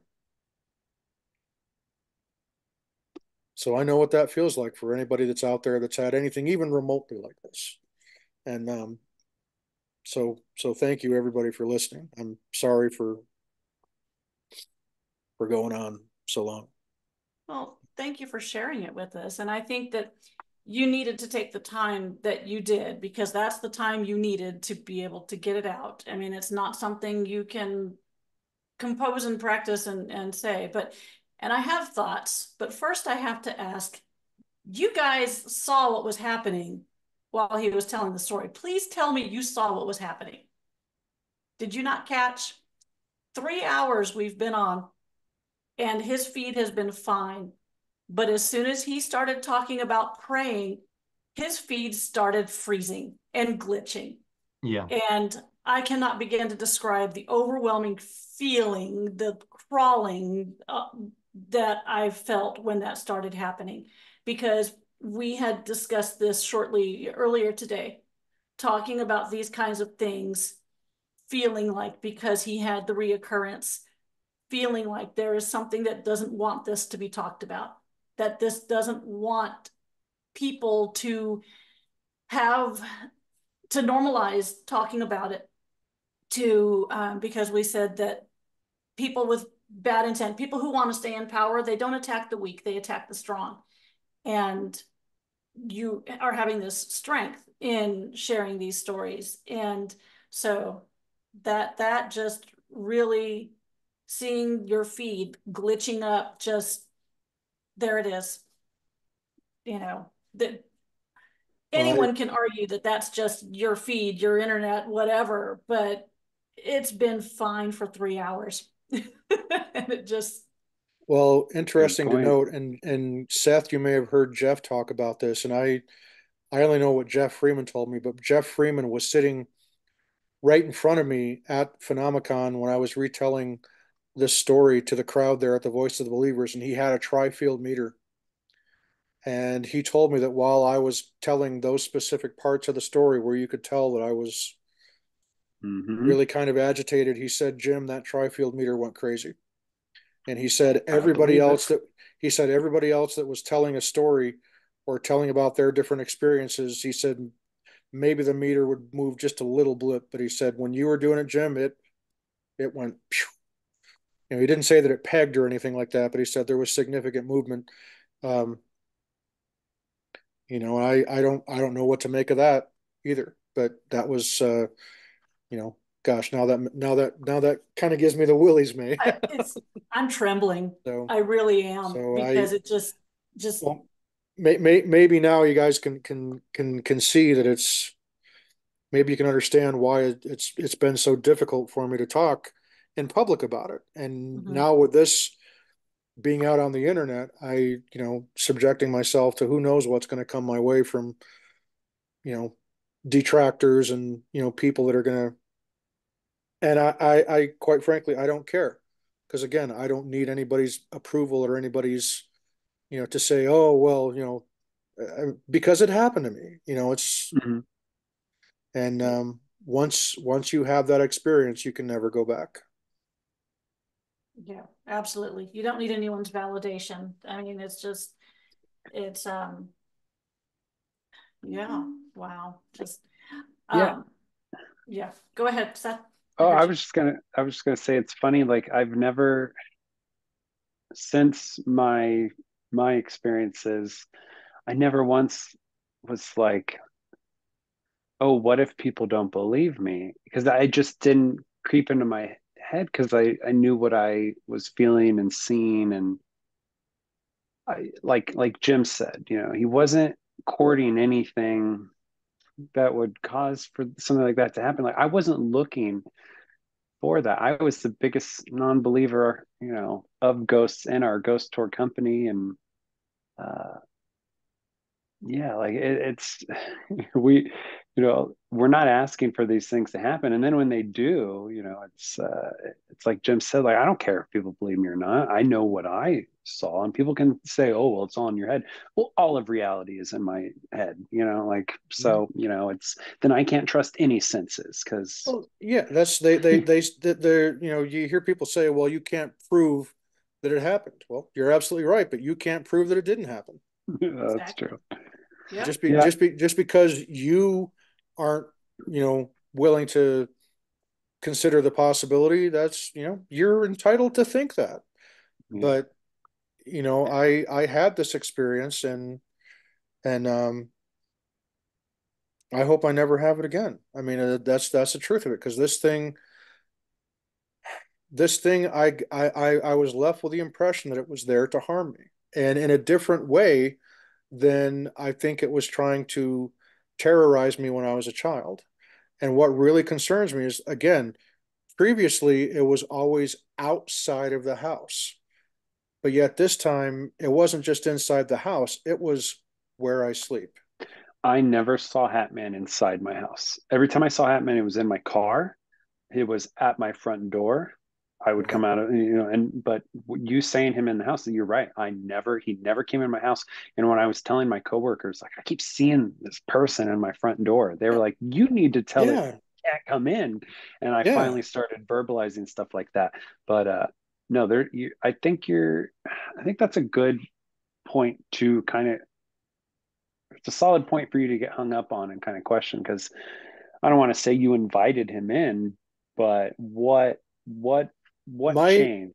My and my also, family, I, we we pray regularly in my family. Yeah. I mean, we could probably be better about reading our scriptures and things like that, but I, you know, we again, I want to emphasize the point. The only time that I even approach these topics is when Roger and I are doing a podcast, and this is, I mean, I purposely there's a reason why I don't like to talk about spirits and hauntings and things like that because that goes down a road where my faith tells me that that stuff is real and i don't like dabbling in the darker aspects of things. And so again you know i'm not doing seances. I'm not doing you know i i just it's just not who i am. I'm a practicing christian. I i, I attend church as often as my my health allows me to attend. And um how this how and why that's that's that's the thing that keeps keeps coming back to me is the how and the why. And of course, the what. What is this thing? Why I, and how? I think Mae kind of answered it. It's because you're you're strong. You're a strong man in your faith, uh, spiritually, physically. Um, you know, you might feel like this thing kind of left you shook. You're still in it. It only happened a year ago. Mm-hmm. Um, you you might not feel like it, but I see someone incredibly strong and uh, and and worthy of that strength that pushed uh, these these entities away. So I don't I don't think it's preying on on you because of, of any any sort of weakness or or, or not the, not that you would feel well, like you know but it's, it's you it's, I I you might not feel it but I just want you to know I see strength and power and uh, I see a, a man of, of God and, and his family and love and you're not going to get broken down. And obviously there's something in you like you were saying with the out of body experiences. Every time they happen it was because you were about you were about to undergo something extreme. So with the shadow man to me that connection is your body your subconscious knew oh i need to go into the astral realm zone because i'm physically frozen. I can't say my prayer. I can't enact my faith but I can, you know, I can knock myself into the out of body. I've done that before. And then that Shadow Man, obviously, or Hat Man was not expecting that, you know, that, that gave me uh, good goosebumps when you described him, you know, almost like, what the heck? It's like in the Matrix when the, when Neo gets his powers and all the robots are like, oh, yeah. snap. you know, it's, well, it's, it's, it's, it is, yeah, it's, uh, to, to your point, where you were going through the negative, you know, where you were having, you know, the rough time when Hatman appeared to you and you having a lot of stress and things like that. I, I do have to admit, last year was when I was really, when this happened was when I was in the middle of settling my father's estate. And anybody who's ever had to handle mm. the estate of loved ones, I mean, it is a, it's an arduous task because I, and I and Mae, I know I've talked to you about this, and Roger, I've talked to you about this. Is you know, I was very close to my parents. They were they were like best friends to me, both of them, and me and my dad in particular. So losing them was was was hard enough, um, despite my belief that I will see them again and that they're in a better place, free of pain and suffering. But it doesn't it doesn't prepare you. absolutely. He just froze. Am I there? Earlier Hello? it was glitches. Now it's it's frozen Hello? solid. Am I there? Hello? Hello? Anybody there? Hello?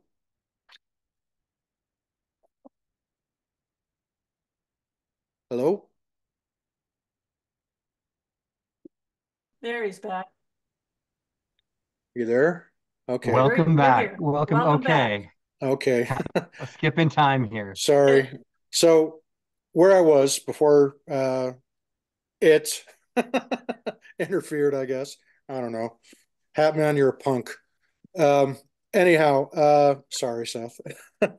so uh so yeah, I was going through a really rough time. You know, when, when you lose parents, there was a lot of uh dynamics that I had to kind of control with with setting the estate in order and and making sure that my siblings were all everything was distributed evenly and fairly among my siblings and and um, just the stress of, of of that and you know having to interrupt my my my work life um, and then as Mae knows all the abuse and stuff that i was dealing with uh, in the music business with with uh, stuff pertaining to my old radio show and my former music project, Eminent Soul. Uh, I was getting a constant amount of abuse from mainly people in Europe that just you know don't didn't like the the things that I was doing, and so all of that I think probably contributed to an, an inordinate amount of stress because these people, uh, particularly the, the music detractors, were threatening my family with physical harm. They were threatening to harm me. They were, you know, sending really horrible messages and trying to turn me against my friends that I had in the music business. And it was just, it was really ugly. And that was all on top of having to work through the loss of my parents. And I didn't even allow myself time to grieve the loss of my parents um, until this last fall when I took the, my parents' remains back to New York to lay them to rest. And it wasn't until after I got back from that that I finally allowed myself time to grieve and mourn the loss of both my mother and father. So I think it may have been Hatman, whatever, whoever he is, saw that moment of weakness with all the struggling that I was going through, all the stress that I was under, and maybe was trying to look at that as an opportunity to come and, you know, mess with me in whatever way he was planning on. So that's the only that's the only kind of logic that I can apply to it. But uh, but that's that's where that thought was going before I I froze. Sorry, folks. yeah. So yeah.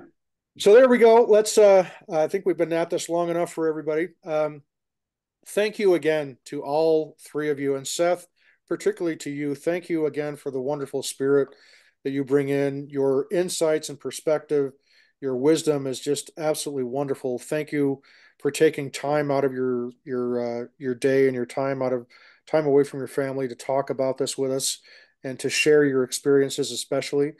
And to you, Mae, as well. Speaking of special spirits, you know I love you dearly. Thank you so much for who you are, and uh, massive thanks to Kevin as well for letting us borrow you for three hours now.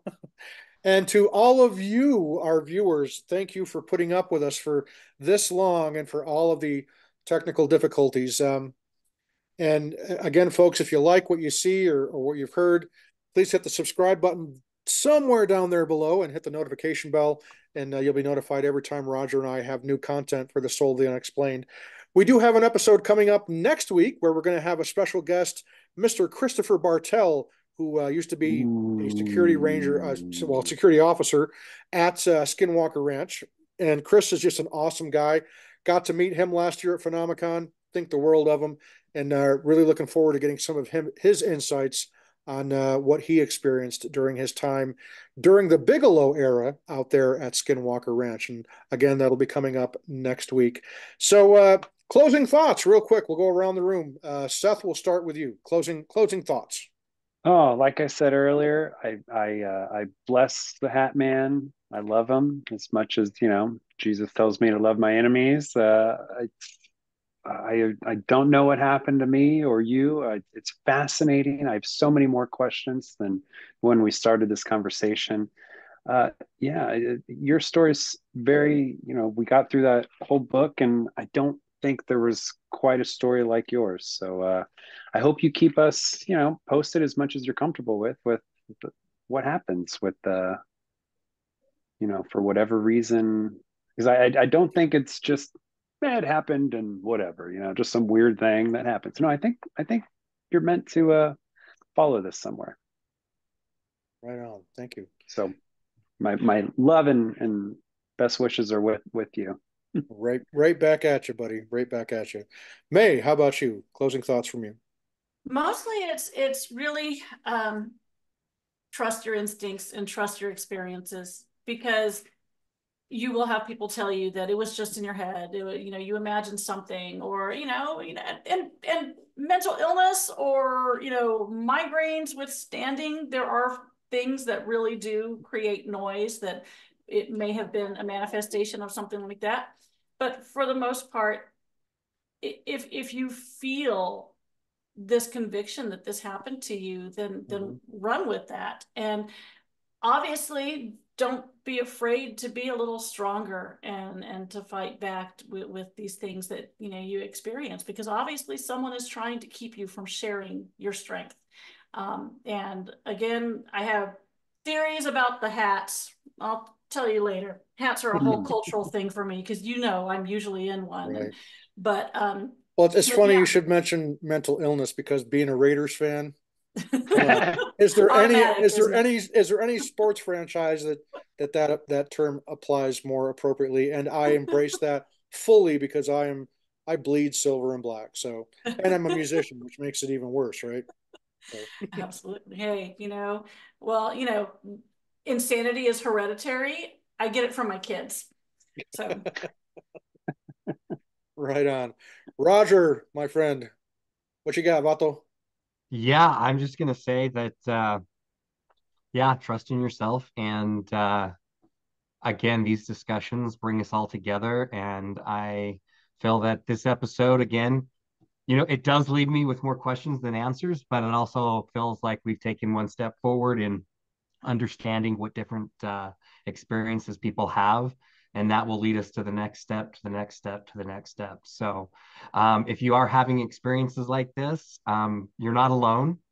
Um, we're here among you and uh, we share those same experiences. And so if you ever feel like you need a friend or somebody to reach out to just to listen definitely reach out to Jimm and i. Um, we'd be happy to talk to you um, just know that no matter what you're going through, you're not alone. And uh, everyone, uh, it was a super great episode, and everyone's here to help. And I really appreciate the uh, the thoughtfulness of the way this was discussed and the way it's ended. So awesome. Thank you so much, Rog, and thank you, Mae, and thank you, Seth, for uh, taking the time to do this with us. It's been an awesome conversation. I I've gotten a lot out of it. Hopefully, our viewers have as well. And like Roger says, folks, please feel free to reach out to us on Facebook. We're very active on Facebook. Just look for us for the Sol of the unexplained and Sol, that's S O L, because I am always shit out of luck, right? so, Sol of the unexplained on Facebook. We're also on Twitter, or uh, feel free to hit us up in the comments below. Um, and uh, we'd be happy to uh, to hear your thoughts. And if you have any experiences, certainly we'd love to hear them. And who knows, Rog, hopefully sometime soon we can get Mike Ricksecker himself to come on and join us for this conversation. Um, he said that he'd be willing to when I met him at Phenomicon, but as you know, uh, Roger, you and I, the last six months have been insane. Um, I just barely got back the ability to walk and sit up from my back injury that I had, knocked me down for about five months and uh, of course you've had a your own roller coaster of events that have happened and we just simply didn't have the time to reach out to mike ricksecker and we absolutely wanted to get this this uh, podcast done because we've been promising it for so long so hopefully next time we talk about this top this topic we will have mike ricksecker himself because cool. he's a really cool guy and he's really knowledgeable and uh, it would be awesome to get him on as a as a guest. So, yeah, with that, folks, back together. That's right, absolutely. I'll get the whole band back together, right? And again, folks, check out Seth's music at asamoth.bandcamp.com. That's as a moth, as in the winged insect. Asamoth.bandcamp.com. Seth is awesome. He's a great musician, and he's just one awesome human being. And it is an honor and a privilege to count him as one of my friends. And oh. Same for Mae. Love you to death. You are you're like family, Mae and uh, Roger. You are my brother from another mother. So you know, love love all three of you very much. Truly, thank you for who you are. And uh, with that, folks, we're going to wrap this up. Thank you again for watching this marathon session, for listening to me constantly. We will see you next time, folks. Thank you again so much. We will see you. See ya.